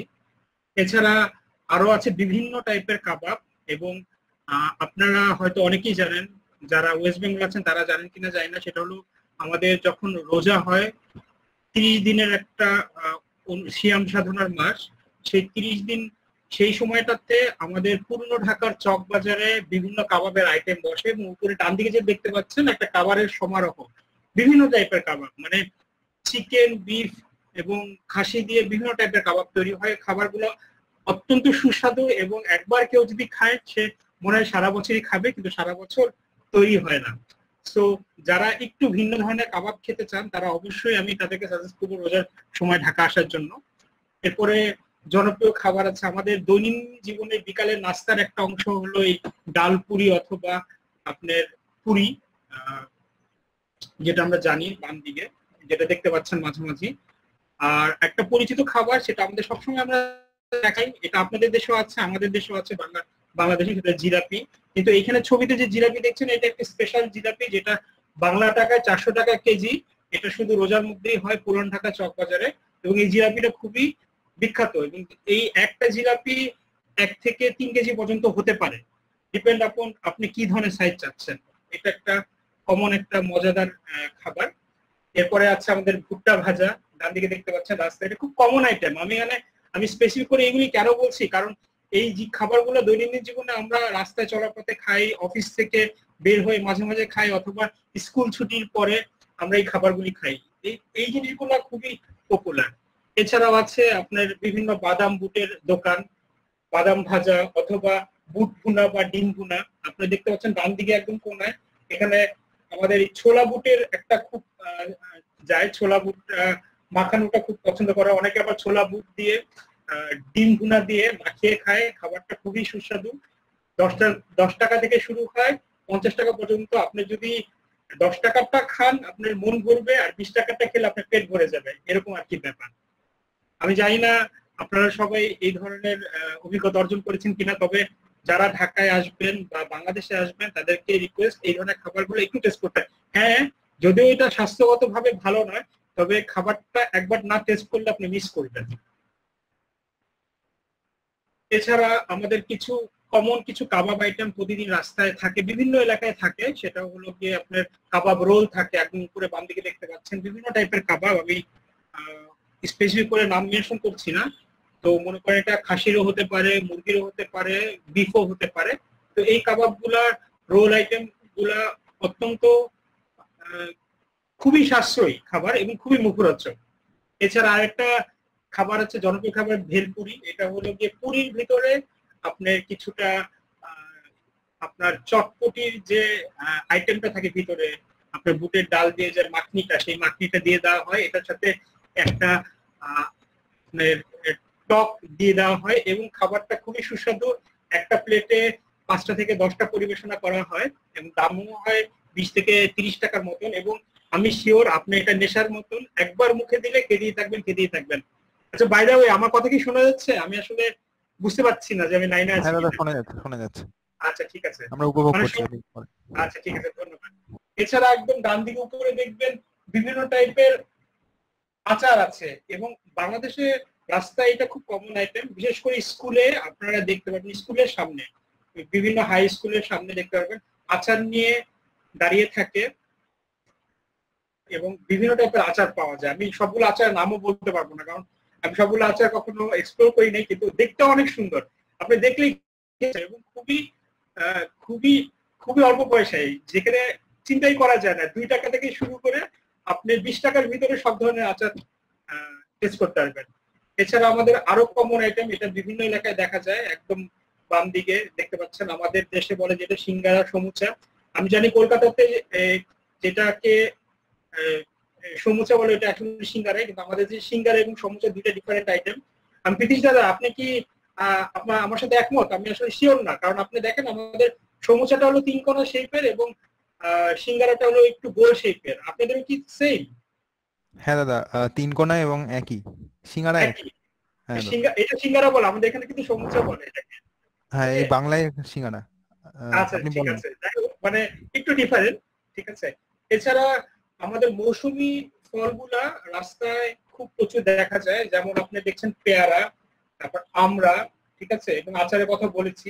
এবং আহ, আরেকটা খাবার আছে যেটা হলো গিয়ে আমাদের এটা মাঝে মাঝে আপনার মেলায় সবসময় পাওয়াই যাবে একদম ডান দিকে দেখেন মুড়ি মুরগির মতন। এটা বিভিন্ন নামে আছে বিভিন্ন এলাকায়। এটা কিছুটা নিমকি আছে কিছুটা মিষ্টি মিষ্টি টাইপের নিমকি আছে এই ধরনের খাবারগুলা মেলায় পাওয়া যায় এবং মাঝে মাঝে কোনো এলাকায় বেশ করে পাওয়া যায়। পুরান ঢাকায় এই খাবারগুলো অবশ্য পাওয়া যায়। আচ্ছা এখানে একটা বলার বিষয় সেটা হলো যে আমাদের ঢাকা শহর একটা একটা ঐতিহ্যময় জায়গা হলো পুরান ঢাকা, যেটা হলো ব্রিটিশ আমল থেকে আছে, যেমন কলকাতার কিছু ব্রিটিশ ব্রিটিশ সময়ের কিছু স্থাপত্য আছে এবং আমাদের পুরান ঢাকায় সেই ব্রিটিশ আমলে কিছু স্থাপত্য এখনও রয়ে গেছে। তা ওখানে কিছু ট্রেডিশনাল খাবার আছে। যে ট্রেডিশনাল খাবারের কথা অলরেডি শাহ সুলতান ভাই বলেছেন যে পুরান ঢাকার খাবার খাবারগুলো, বিশেষ করে তেহারি বিরিয়ানির কথা। আমি স্পেসিফিক কয়েকটা বিরিয়ানি তেহারি বলব, নাম বলব, যেগুলি হয়তো এখানে আসলে যদি আপনি না খান, তাহলে সত্যি সত্যি মিস হয়ে যাবে। পাবেল ভাই অলরেডি বলেছে, কয়েকবার বলেছে সেই কথাটা সেই কথাটা আমি বলব। আচ্ছা ডান দিকে একদম নিচে একটা ছবি দেখেন। এই ছবিটা খুব ইন্টারেস্টিং আপনি দেখে মনে হতে পারে এগুলি খুব আচার। অ্যাকচুয়ালি অ্যাকচুয়ালি এগুলি আচার না, এগুলি বিভিন্ন হলো ভর্তা টাইপের আমাদের দেশের রাস্তায় খুব কমন একটা খাবার আছে চিতই পিঠা। এটা সাধারণত শীতকালে হয়। মাঝে মাঝে আপনার শরৎকাল, হেমন্তকালে, বর্ষাকালেও এই দোকানগুলো দেখা যায়। এটা হলো চিতই পিঠা দিয়ে আপনার ভর্তা দিয়ে খাওয়া, বিভিন্ন টাইপের ভর্তা থাকে, টাকি মাছের ভর্তা থাকে মানে বিভিন্ন টাইপের খুব আপনি, আপনার বাসায় যে ভর্তাগুলা খায়, শাকসবজির যে ভর্তাগুলা খায়, সেই ভর্তাগুলো এখানে থাকে। সেই ভর্তাগুলা, মজার ব্যাপার হলো কি, ভর্তাগুলোর জন্য আপনাকে কোনো টাকা পয়সা দিতে হবে না। আপনাকে শুধু হলো চিতই পিঠাটা কিনতে হবে। চিতই পিঠার দাম থাকে সাধারণত পাঁচ টাকা থেকে দশ টাকা। তো আপনি চিতই পিঠা নিয়ে আপনি যে কোনো ভর্তা আপনি ভর্তাতে ট্রাই করতে পারবেন। এই খাবারটা বিশেষ করে আমি দেখেছি যে সবার কাছেই খুব ইন্টারেস্টিং এবং এটার বয়সের কোনো শেষ নাই এটাতে। মানে কোন বয়সে কারা খাবে এই খাবারটা? এই খাবারটা খুব পপুলার আমি আসলে স্পেসিফিক করে বলছি এই কারণে মানে ছবিগুলো দেখে যে আপনারা জানি উপভোগ করতেন ব্যাপারটা। এবং আমাদের আরেকটা জিনিস হয়তো বাকরখানির কথা, শাহেদ সুলতান ভাই, আপনি কি বাকরখানির কথা বলেছিলেন? আমাদের না ভাই আমি এটা স্কিপ করছি আপনি বলতে আচ্ছা পারেন, ঠিক skip আছে, তাহলে তো ভালো হলো তাহলে আমি সুযোগ পেলাম। আমাদের দেশের আরেকটা মানে পুরান ঢাকার একটা ঐতিহ্যবাহী খাবার আছে বাকরখানি বলেন এই বাকরখানিটাও হলো গিয়ে সকালে নাস্তায় খায় অনেকে অনেকে বিকালে নাস্তায় খায়। জিনিসটা স্বাদটা আসলে মিষ্টিও না নোনটাও না কিন্তু কেমন জানি মেশার মতো। আপনি বসলে দুইটা তিনটা চারটা করে পাঁচটা করে খেতে পারবেন। তবে ইদানিং যেটা আছে মিষ্টি বাকরখানি বলে একটা বাকরখানি আছে। আমি আজ থেকে বিশ পঁচিশ বছর আগে এই বাকরখানিটা দেখিনি। তো এখন ইদানিং এই বাকরখানিটা দেখি, মিষ্টি বাকরখানি নিচে দেখতে পারবেন। একদম উপরের দিকেরগুলা হলো গিয়ে আপনার যেটা হলো গিয়ে নোনতা বা হলো গিয়ে একটু লবণাক্ত বাকরখানি একটা মিষ্টি বাকরখানি মিষ্টি বাকরখানিটা আবার পপুলার হলো ইয়ং জেনারেশনের কাছে। তারা আর কি এই শুধু শুধু মিষ্টি বাকরখানি পছন্দ করে। এছাড়া পুরান ঢাকার একটা বিখ্যাত জিনিস আছে, সে লাচ্ছি এবং ফালুদা। এবং এই লাচ্ছি এবং ফালুদা খাওয়ার জন্য মানে আমি কলকাতা থেকে আসতে বলব না, কিন্তু মজার পর হলো ঢাকায় যারা বেড়াতে আসে, তারা একবার না একবার চেষ্টা করে পুরান ঢাকায় বিউটি, লাচ্ছি, ফালুদা খেয়ে যাওয়ার জন্য। এবার একটু ঢাকার বাইরে যাই। ঢাকার বাইরে সিলেটের শ্রীমঙ্গলে এক ধরনের চা পাওয়া যায়, একদম দিকে উপর পারবেন সাত রং চা। কালারটা হলো সাতটা কালার। এই চায়ের লেয়ারটা সাতটা এবং একটা লেয়ারের সাথে আরেকটা লেয়ার কখনো মিশবে না। এবং চাটা খেতে অতটা সুস্বাদু না মানে আমরা চা বলতে যে ধরনের চা বুঝাই, অতটা সুস্বাদু না, কিন্তু দেখতে অসম্ভব সুন্দর। দেখলেই আপনার দুই, তিন কাপ খেতে ইচ্ছা করবে। এবং একটু আগে যে ফালুদার কথা বলছিলাম, বাম দিকে ফালুদা, আমি জানি না আপনি বলতে পারবেন যে আপনাদের দেশে এই ফালুদাটা হয় কিনা। আমাদের দেশে আমাদের দেশে ফালুদাটার একটা হিস্ট্রি হলো কি, আমাদের কাস্টার্ড বলে একটা খাবার আছে পশ্চিমা বিশ্বে। কাস্টার্ডে যে আইটেমগুলো থাকে, আমাদের ফালুদাতেও সেম আইটেমগুলো থাকে। মোটামুটি আমি যদি ভুল না করি। খুব বেশি পার্থক্য নাই। ফালুদাতেও বিভিন্ন টাইপের ফ্রুটস দিয়ে, দুধ দিয়ে, দই দিয়ে বানায়। খুব ভালো লাগে। এবং আরেকটা খুব পপুলার ফুড আমাদের দেশে অলরেডি পাভেল ভাই এবং শাহেদ ভাই বলেছে, তারপর আমি বলছি সেটা শীতকালে যেমন চিতই পিঠার কথা বলছিলাম, সেরকম একটা পিঠা হলো ভাপা পিঠা। ভাপা পিঠাটা অসম্ভব মজার একটা পিঠা। চালের গুঁড়া, সাথে নারকেল, সাথে গুড়।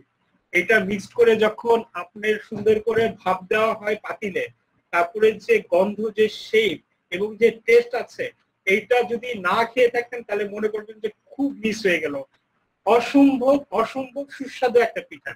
এমনি আমাদের অন্যান্য পিঠা সম্বন্ধে যে পিঠাগুলি বলেছেন ওগুলি খুবই মজার কিন্তু ভাপা পিঠাটা এতই মজা এবং এতই পপুলার যে শীতকালে আপনার রাস্তায় একটু পর পর হাঁটলেই আপনি ভাপা পিঠা দেখতে পাবেন। এবং এখানে আমি একটা জিনিস বলতে চাই সরি সরি ভাই সরি আচ্ছা বাবা পিঠার কথা শুনে আমার একটা জিনিস মনে হলো যে, আমি নিজে পার্সোনালি যেটা করি, হয়তো অনেকের সাথে এটা মিলেও যেতে পারে যে, আমি শীতে বাইরে বের হয়েছি, হাতটা ঠান্ডা লাগতেছে, তাহলে একটা পিঠা খাই। পিঠাও খাওয়া হলো, হাতটা একটু গরম হলো। ব্যাপারটা কিন্তু আমার এরকম হয়। অনেকের এরকম হতে পারে। জাস্ট এইটুকু। সাহেব ভাই থ্যাংক ইউ মানে আসলেই, আসলে আপনার সাথে একমত। এবং আমি বিকালের একটা খুব কমন একটা খাবার বলছি মানে পুরীর মতন একটা খাবার, কিন্তু খাবারটা খুবই পপুলার ইয়াং জেনারেশনদের কাছে খুবই পপুলার খাবার, সেটা হলো মোগলাই পরোটা। মোগলাই পরোটা তৈরি হয় হলো ময়দা, ডিম, পেঁয়াজ এবং কিছু মশলা দিয়ে, মরিচ দিয়ে। এবং জিনিসটা হয় হলো গিয়ে আপনার কিছুটা স্কোয়ার অথবা রেক্ট্যাঙ্গুলার শেপের এবং খুব মচমচা হয়, ভিতরে ডিমের আপনার ডিমের ফ্লেভারটা থাকে এবং পেঁয়াজ কুচি এবং মরিচ কুচি থাকে এবং খাবারটা খুবই মজার।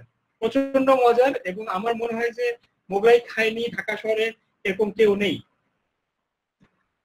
তারপরে আমি চলে যাচ্ছি একবারে বিরিয়ানি তেহারি পড়বে আমি আসলে ঢাকা শহরে কিছু নামি দামি বিরিয়ানি তেহারি নিয়ে একটু কথা বলব। মানে কথা বলব আসলে ছবি দেখাবো আপনাদেরকে মেনলি যে যদি আসেন তাহলে এসে মিস করবেন না। ভাই শাকিল ভাই। জি জি জি জি। শাকিল ভাই আমি একটু ডিস্টার্ব করি। আর আমি ডিস্টার্ব বলতে আসলে আমি নেটওয়ার্কের প্রবলেমের কারণে আমি পুরোপুরি জয়েন করতে পারিনি বা আমার বিভিন্ন কথা ছিল শেয়ারও করতে পারিনি। তো শাকিল ভাইকে একটু আমি হোল্ডে রেখে এই এক মিনিটের মধ্যে কিছু একটা বলি। সেটা হচ্ছে গিয়ে যে আমাদের পশ্চিমবঙ্গ এবং বাংলাদেশে মানে দুই বাংলার অনেক জনপ্রিয় খাবার নিয়ে আমরা ইতিমধ্যে অনেক অনেক সুন্দর সুন্দর প্রেজেন্টেশন দেখেছি, অনেক খাবার দেখেছি, অনেকের কাছে পরিচিত, অনেকের কাছে অপরিচিত। তো দুই বাংলার কাছে আমি যেমন প্রীতিশ দাদা এবং কল্যাণ দাদার প্রেজেন্টেশন করে দেখেছি, অনেক কলকাতার অনেক জনপ্রিয় খাবার যেগুলো কিনা আমরা দেখিনি বা স্বাদ কীরকম সেটা জানেনি। তেমনি আমাদের বাংলাদেশের অনেক খাবার আছে যেটা কিনা আসলে কলকাতা দাদাদের কাছে এটা হয়তো অপরিচিত। তো আশা করব এটা হচ্ছে আমরা যেমন কলকাতা ঘুরতে যাই, আর আপনারা যেমন তেমনি যদি বাংলাদেশেও ঘুরতে আসেন নিয়মিত ভাবে হয়তো বা এই যে ব্যাপারগুলা হয়তো ঠিক হয়ে যাবে। তো আমি কথা বলার উদ্দেশ্য ছিল এই যে, আমি নেটওয়ার্ক প্রবলেমের কারণে আমি সব আপনাদের সাথে যোগাযোগ রাখতে পারছি না। তো এই মুহূর্তে আমাদের আজকের প্রধান অতিথি বা স্পেশাল গেস্ট হিসেবে সৌনক দাদা অলরেডি জয়েন করেছেন। এই শাকিল ভাইয়ের প্রেজেন্টেশন হয়তো শেষের দিকেই। শাকিল ভাইয়ের প্রেজেন্টেশন পরেই সৌনক দাদার কাছ থেকে আমরা ম্যাপিং এবং ওনার ব্যক্তিগত অনেক অর্জন নিয়ে আমরা শুনব। তো এই আর কি কথা ছিল যে আসলে আমি আন্তরিকভাবে দুঃখিত যে আমি সময় দিতে পারি নাই। আমার ডিভাইস একটু প্রবলেম চলতেছে নেটওয়ার্কে পাশাপাশি সব মিলিয়ে। তো আমি আবারও দুঃখিত বলে আমি শেষ করছি। শাকিব ভাই, আপনি শুরু করেন হ্যাঁ? শোভল ভাই, আমি ইচ্ছা করলে থামতে পারি, সৌনক দাদা বলতে পারে, কারণ আমার আরও দুই তিনটা স্লাইড আছে এবং বিভিন্ন মজাদার খাবারের স্লাইড আছে, আমি শুরু করলে শেষ হবে না। তো আমি একটু পজ নিলেও নিতে পারি, আমার কোনো সমস্যা নেই। আচ্ছা আচ্ছা আচ্ছা। তো এটা আমি তাহলে যেহেতু আপনি আপ- হ্যাঁ হ্যাঁ হ্যাঁ আপনি যেহেতু বলছেন তাহলে প্রীতি দাদা যদি আপনারা বলেন যদি রেডি থাকেন তাহলে সৌন- দাদা হ্যাঁ হ্যাঁ হ্যাঁ। মানে আমার আচ্ছা, আরও আচ্ছা। দুই তিনটা স্লাইড আছে মজাদার খাবার যদি কেউ একটু বোর হয়ে যায় তখন আমি আবার শেয়ার করতে পারি কারণ এরপরে যেটা আছে বিরিয়ানি তেহারি আমি শিওর যারা যারা দেখবে ঢাকায় যারা আছে তারাও তারাও পছন্দ করবে। ভাই আচ্ছা আচ্ছা শুনেন তাহলে খানার পার্টটা আপনি শেষ করে ফেলুন তাহলে সৌনক দাদার কাছ থেকে আমরা অভিজ্ঞতা তারপরে আমরা যারা আছি সবাই মিলে একটু গাইডিং নিয়ে তখন কথা বলব। Local guide connect Google Maps এবং লোকাল গাইড এক্সপিরিয়েন্স শেয়ার হবে তখন। আপনি একবারে ফুডের পার্টটা শেষ করে ফেলুন সমস্যা নেই। জি জি।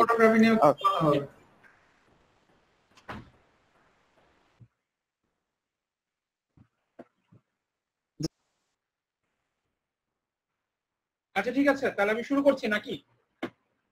হ্যাঁ ভাই। আচ্ছা যেটা বলছিলাম সেটা হলো যে বিরিয়ানি তেহারির কথা। প্রায় শেষের পথে চলে আসছি। আমি আসলে বেশি সময় নিয়ে গেছি।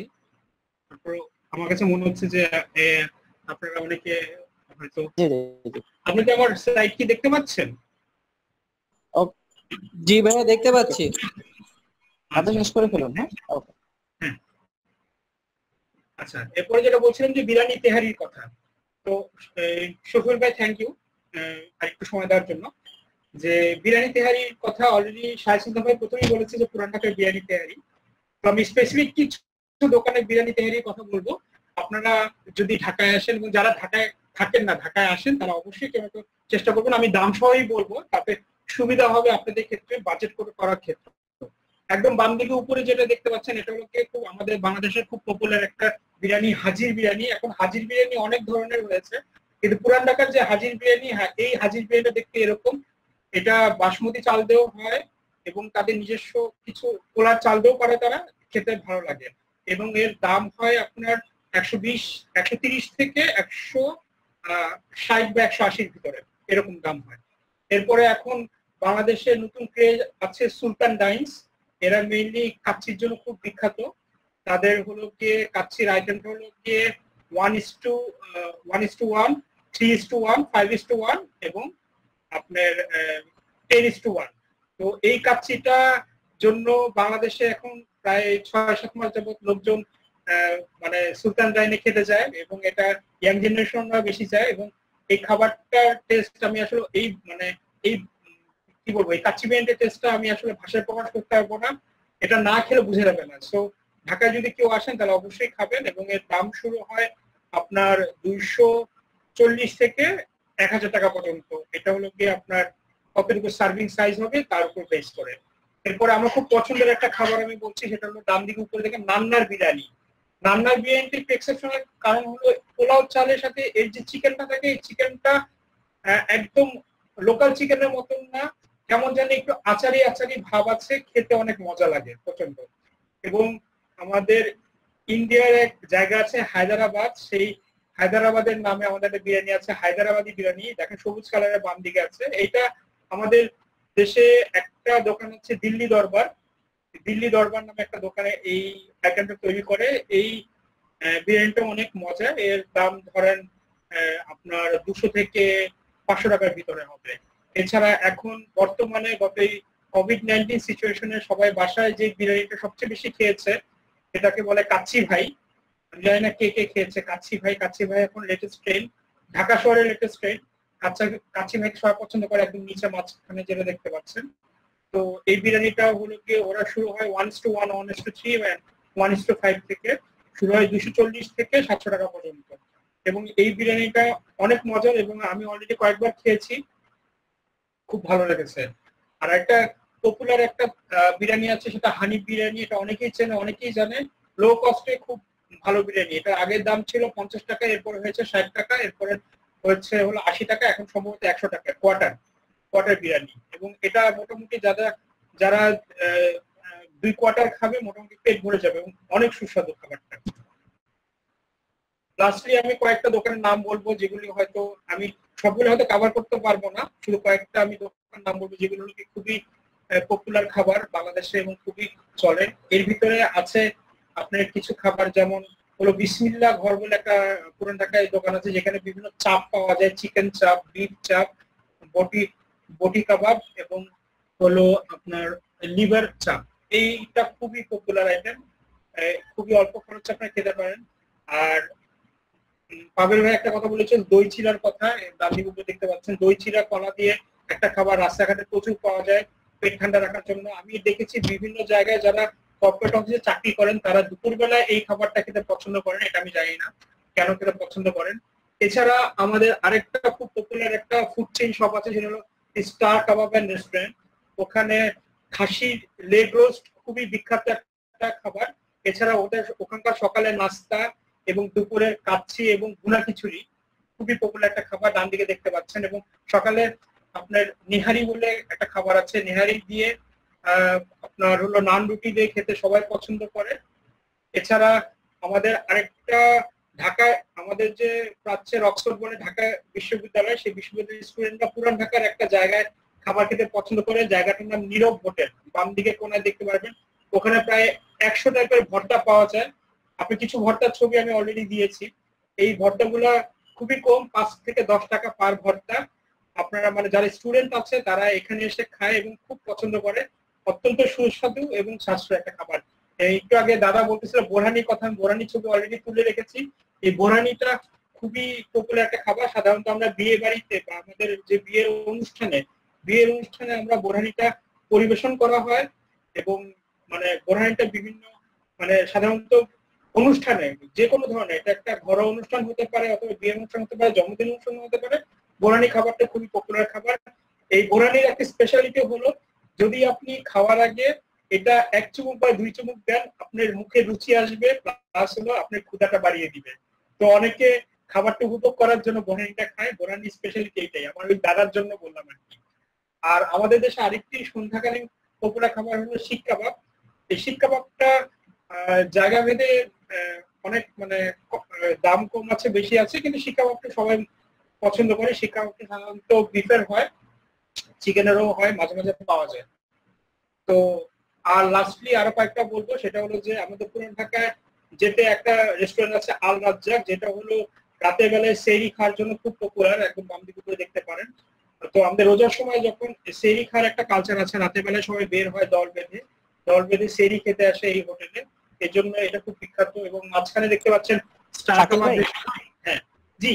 একটু অ্যাড করলাম। আলরাজাকটা চব্বিশ ঘণ্টা খোলা থাকে। আপনি যখনই যান, ওখানে খাবার পরিবেশন করবে। আল্লাহ জাকে আচ্ছা ধন্যবাদ। আর হলো, এছাড়া আছে হলো আপনার স্টার কাবাব রেস্টুরেন্ট এবং একটা জিনিসের ছবি আমি দিতে পারি নাই, শুধু অনলাইন থেকে আমার ছবি পেয়েছি রয়্যাল রেস্টুরেন্টের বাদামের শব্দ বাদামের শরবত, পেস্তা বাদামের শরবত এবং লাবাগ এবং আমি আপনাদের একটা কথা বলি, এই পেস্তা বাদামের শরবত সামথিং লাইক হেভেন লাইক মানে অন্যরকম। এটা ভাষা বর্ণনা করা যাবে না। এটা ঠান্ডা, এটা মিষ্টি, এটা অন্যরকম স্বাদ। আপনি আপনি যদি খুব শরীরে অবসান্ত অবসাদগ্রস্ত থাকেন বা ক্লান্ত থাকেন বা ক্ষুধার্ত থাকেন, আমি আপনাকে একশো পার্সেন্ট নিশ্চয়তা দিচ্ছি। আপনি যদি একবার এই পেস্তা বাদামে রয়্যালের শরবতটা খান, আপনার শরীর, মন সব চাঙ্গা হয়ে যাবে। অসাধারণ এক শরবত। এছাড়া লাস্টলি আমার খিচুড়ি যেহেতু পছন্দ, খিচুড়ি ভুনা খিচুড়ি খুব পছন্দ। কল্যাণ দাদারও বলছিলেন।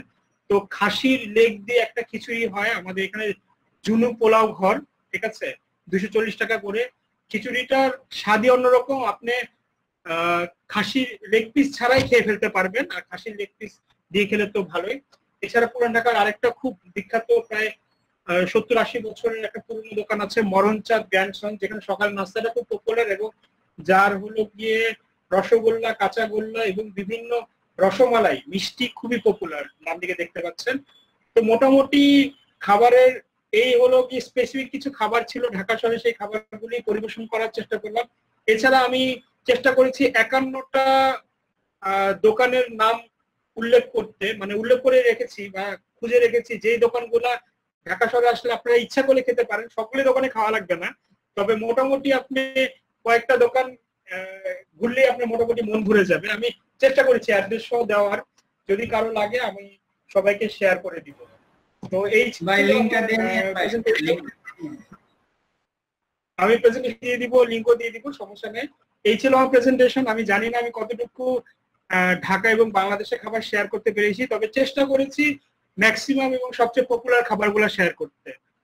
প্রীতিশ দাদা শফিউল ভাই কাভের ভাই এবং শাহিজুল ভাই আপনাদেরকে সবাইকে ধন্যবাদ এবং এতটুকু ছিল প্রেজেন্টেশন ধন্যবাদ সবাইকে। ধন্যবাদ শাকিল দাদা। অত্যন্ত সুন্দরভাবে এবং বিস্তারিতভাবে বাংলাদেশের খাবার সবার সামনে তুলে ধরার জন্য এবং আমাদের জিহবার লালাখরণ উত্তরোত্তর বৃদ্ধি করে দেওয়ার জন্য একই সাথে আমরা আনন্দিত এবং রাগীও বটে। তো অবশ্যই আমরা বাংলাদেশ ভিজিট করব এবং একই সাথে আপনাদের কলকাতাতেও নিমন্ত্রণ থাকল। তো ধন্যবাদ শাকিল দাদা। তো ওয়েস্ট বেঙ্গল লোকাল গাইডস কে আমন্ত্রণ রইল যখনই আসবে। আমার সাথে বা আমাদের লোকাল গাইডস এর সাথে যোগাযোগ করবেন। একবেলা বাংলাদেশের ঐতিহ্যবাহী খাবারের দাওয়াত রইল। অবশ্যই দাদা ধন্যবাদ। ওয়েস্ট বেঙ্গল লোকাল গাইডের পক্ষ থেকে। এবারে আমরা আজকের আমাদের যে মিটাপের যে প্রধান অতিথি ডক্টর সৌনক দাস দাদা তার কাছ থেকে কিছু শুনে নেব। তো তার কাছ থেকে শোনার আগে আমি একটু তার সম্পর্কে যদিও বলার কোনো অপেক্ষা রাখে না, তো তিনি হচ্ছেন পশ্চিমবঙ্গের অন্যতম অভিজ্ঞ local guide senior local guide connect live attendee এবং শুধু লোকাল গাইড নয়, তিনি গুগল লোকাল গাইডের ইউটিউব পেজে ফিচার হয়েছেন, এবং তার সাথে সাথে নাসা এবং অন্যান্য অনেক জায়গাতেই তার প্রভাব রয়েছে। তো সৌনকদার কাছ থেকে আমরা কিছু শুনে নেব। লোকাল গাইড সম্পর্কে, সোনার বাংলা মিট সম্পর্কে এবং খাবার সম্পর্কে, সৌনকদার অভিজ্ঞতা এবং তিনি নিজে যেহেতু ডাক্তার, তো এই সমস্ত খাবার সম্পর্কেও তার নিজস্ব কি অভিমত সেই ব্যাপারে আমরা শুনে নেব। সোনক দাস দাদা thank you first of all প্রথমেই আমি বলছি একটু সরি আমি একটু লেটে অ্যাটেন্ড করেছি আজকে প্রোগ্রামটা আমার এখানে কিছু কানেকশন প্রবলেমের সাথেও কিছু ইমার্জেন্সি আর্জেন্ট কাজ এসে যাওয়াতে। আমি প্রথমে এটা অ্যাটেন্ড করতে পারিনি। তো যাই হোক, একটু পরে আমি ইউটিউবে এটা দেখে নেব।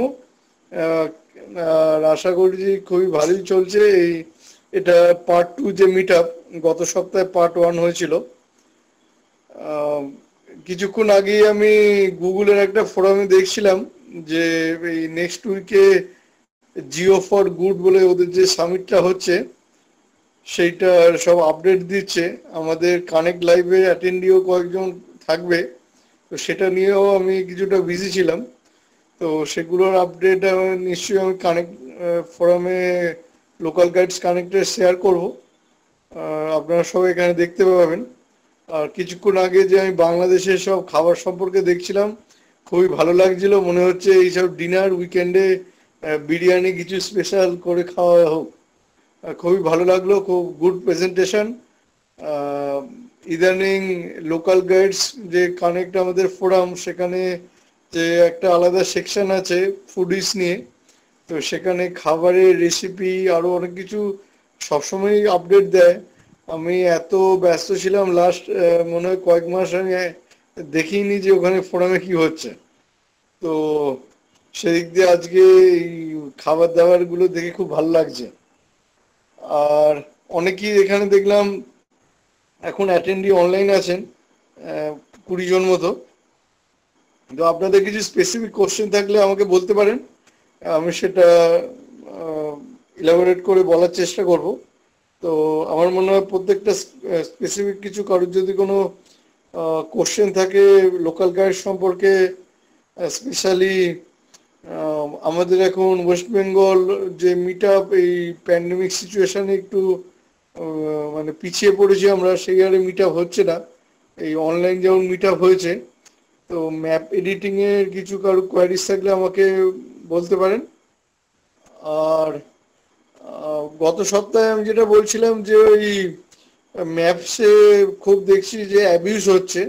সেইগুলো এখন এক একটা গ্রুপ সহকারে যদি আমরা একটা ঠিক করি যে কলকাতায় মেন মেন এরিয়াতে যতগুলো অ্যাবিউজ হয়েছে, তার স্পেসিফিক কিছু স্ক্রিনশট নিয়ে কানেক্ট যে লোকাল গাইডস কানেক্ট যে পেজ আছে, সেখানে গিয়ে আমরা বলতে পারি যে ভেরিফাইড বিজনেস লিস্টিংয়ে অনেক সময় দেখা যাচ্ছে যে অন্যান্য ছবি মজার ছলে অনেকে আপলোড করছে, তো সেগুলো কাম্য নয়।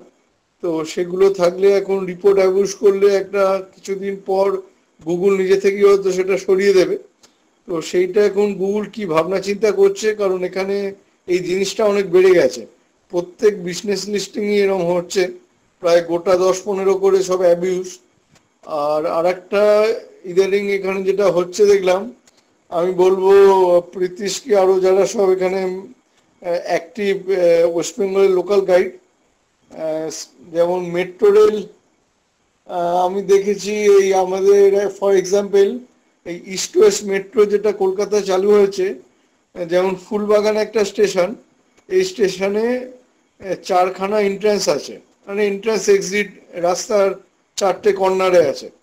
এবার ম্যাপে যখন দেখাচ্ছে, ওই চারটে কর্নার ইনক্লুডিং ওর পাশে যদি কোনো বাস স্টপেজ থাকে, সেটার নামও ফুলবাগান দিয়ে দিচ্ছে, ওই যে মেট্রো স্টপ এবার কেউ হয়তো ওখানে মেট্রো স্টেশনে গেল, কয়েকটা ছবি তুললো। তো যে এবার ছবিটা আপলোড করবে, সে কোনটাতে আপলোড করবে? তার কাছে অপশন বলতে ওই চারটে আছে।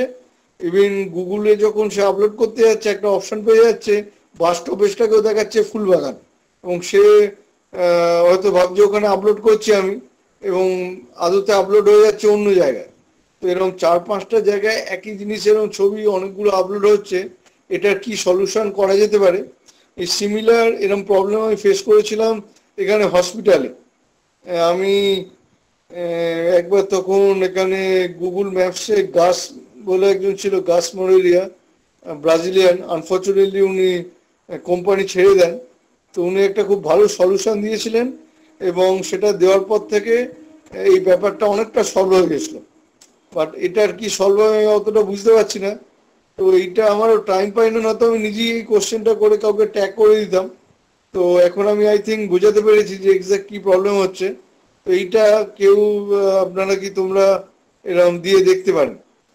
যে আমাদের যারা ছোট আছে, তাদেরকেও বলছি, আর যারা এমনি আমার থেকে বড় দুজনকেই বলছি যে দেওয়ার সময় একটা যে যে হয়তো ফার্স্ট এটা করলেন, তারপর মানে জিনিসটা যেন একই জিনিস বারবার না সাবজেক্ট হয় একটা ইয়েতে বারবার যদি কেউ কমেন্টে লিখতে থাকে যে হ্যাঁ এরকম প্রবলেম আমরা ফেস করছি, তাহলে ওরা যে, ওটা একটা দৃষ্টি আকর্ষণ হবে যে, এতগুলো জন এতগুলো কমেন্ট হচ্ছে, এতগুলো জন করছেন, তাহলে ওরা একটা কিছু সলিউশন দেবে। তো এটা অন্যান্য জায়গায় হয় কি, একটা স্পেসিফিক টপিক দিয়ে দেয়। যেমন এই ইংল্যান্ডেও আমি এরকম দেখছিলাম। এই গতবারে আমি যে গেছিলাম, ওখানে ওই মেট্রো স্টেশনে যেগুলো অনেকগুলো সব এক্সিট এন্ট্রি পয়েন্ট আছে।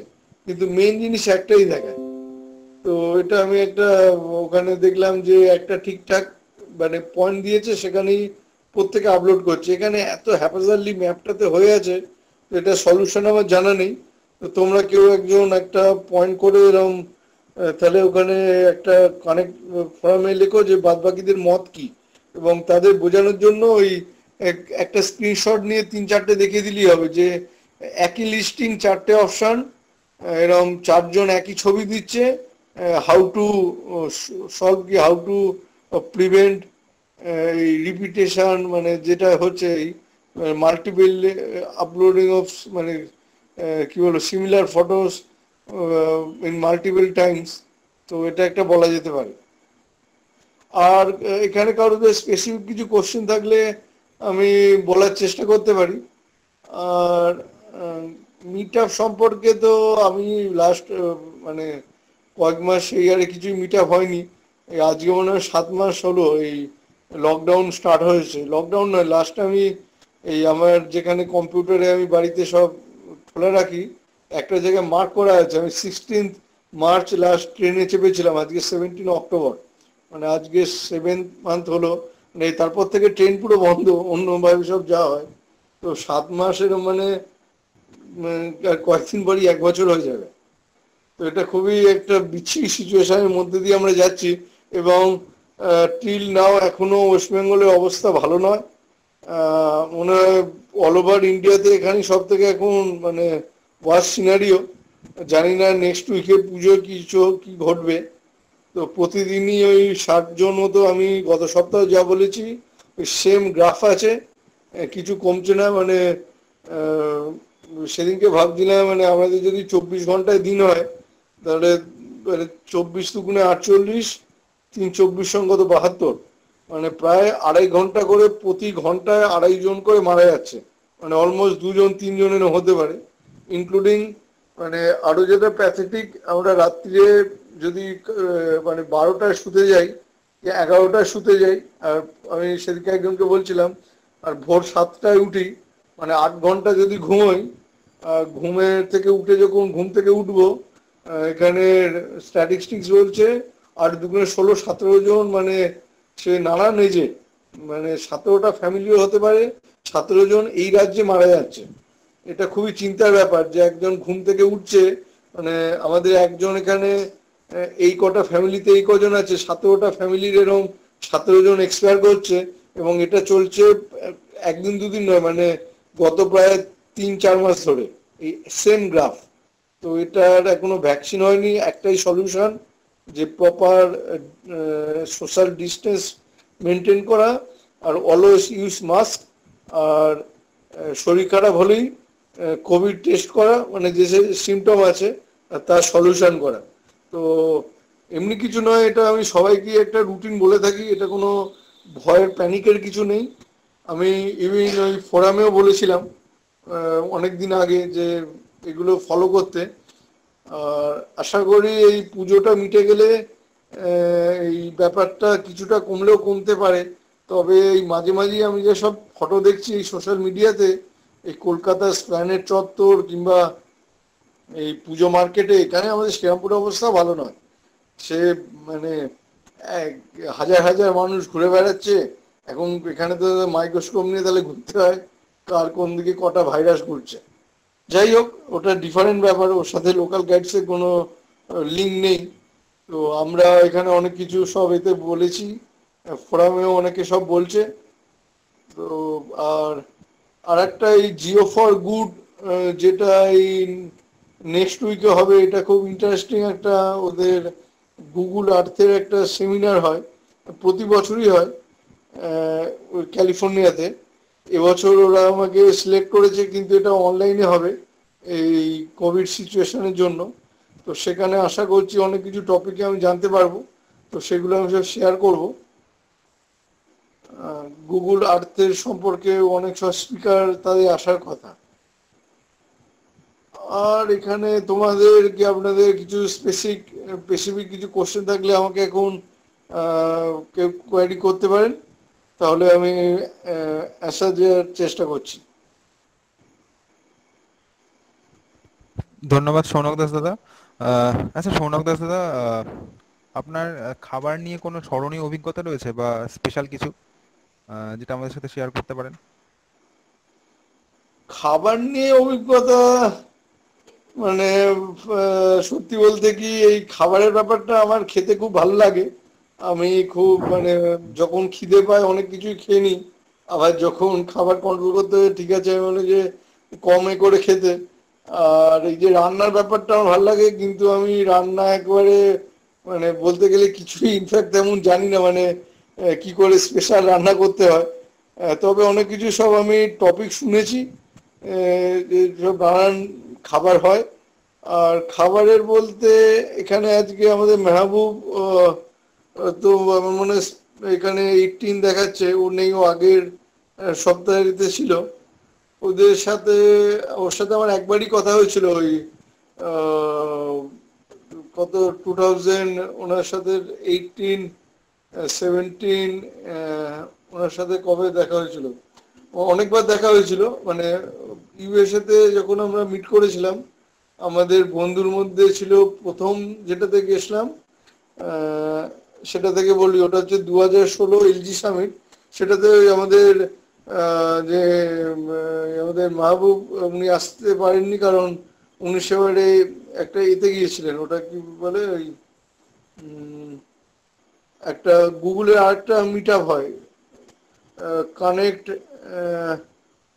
ওটা এইচও আর একটা মিট আপ হয় মানে আমাদের ইয়ারলি সেটাতে যাওয়াতে লোকাল গাইড সামিটে যেতে পারেননি উনি। তো সেখানে প্রথম ওখানে নানান সব খাবারের এক্সপিরিয়েন্সের মধ্যে যেটা হয়েছিল ইন্টারেস্টিং বলতে আমার যেটা মানে খাবারের এতে লাগে, আমরা বাঙালিরা সব হাতে করে খাবার খাই। এবং সেটা খুব আমাদের খেয়ে খেয়ে অভ্যস্ত। বাঙালিরা সব কিছুই খেতে বসছি দুপুরবেলা টিফিনে এতে লাঞ্চ করছি, যে কোনো জায়গায় হাতে করে মানে ডাইরেক্ট আমুল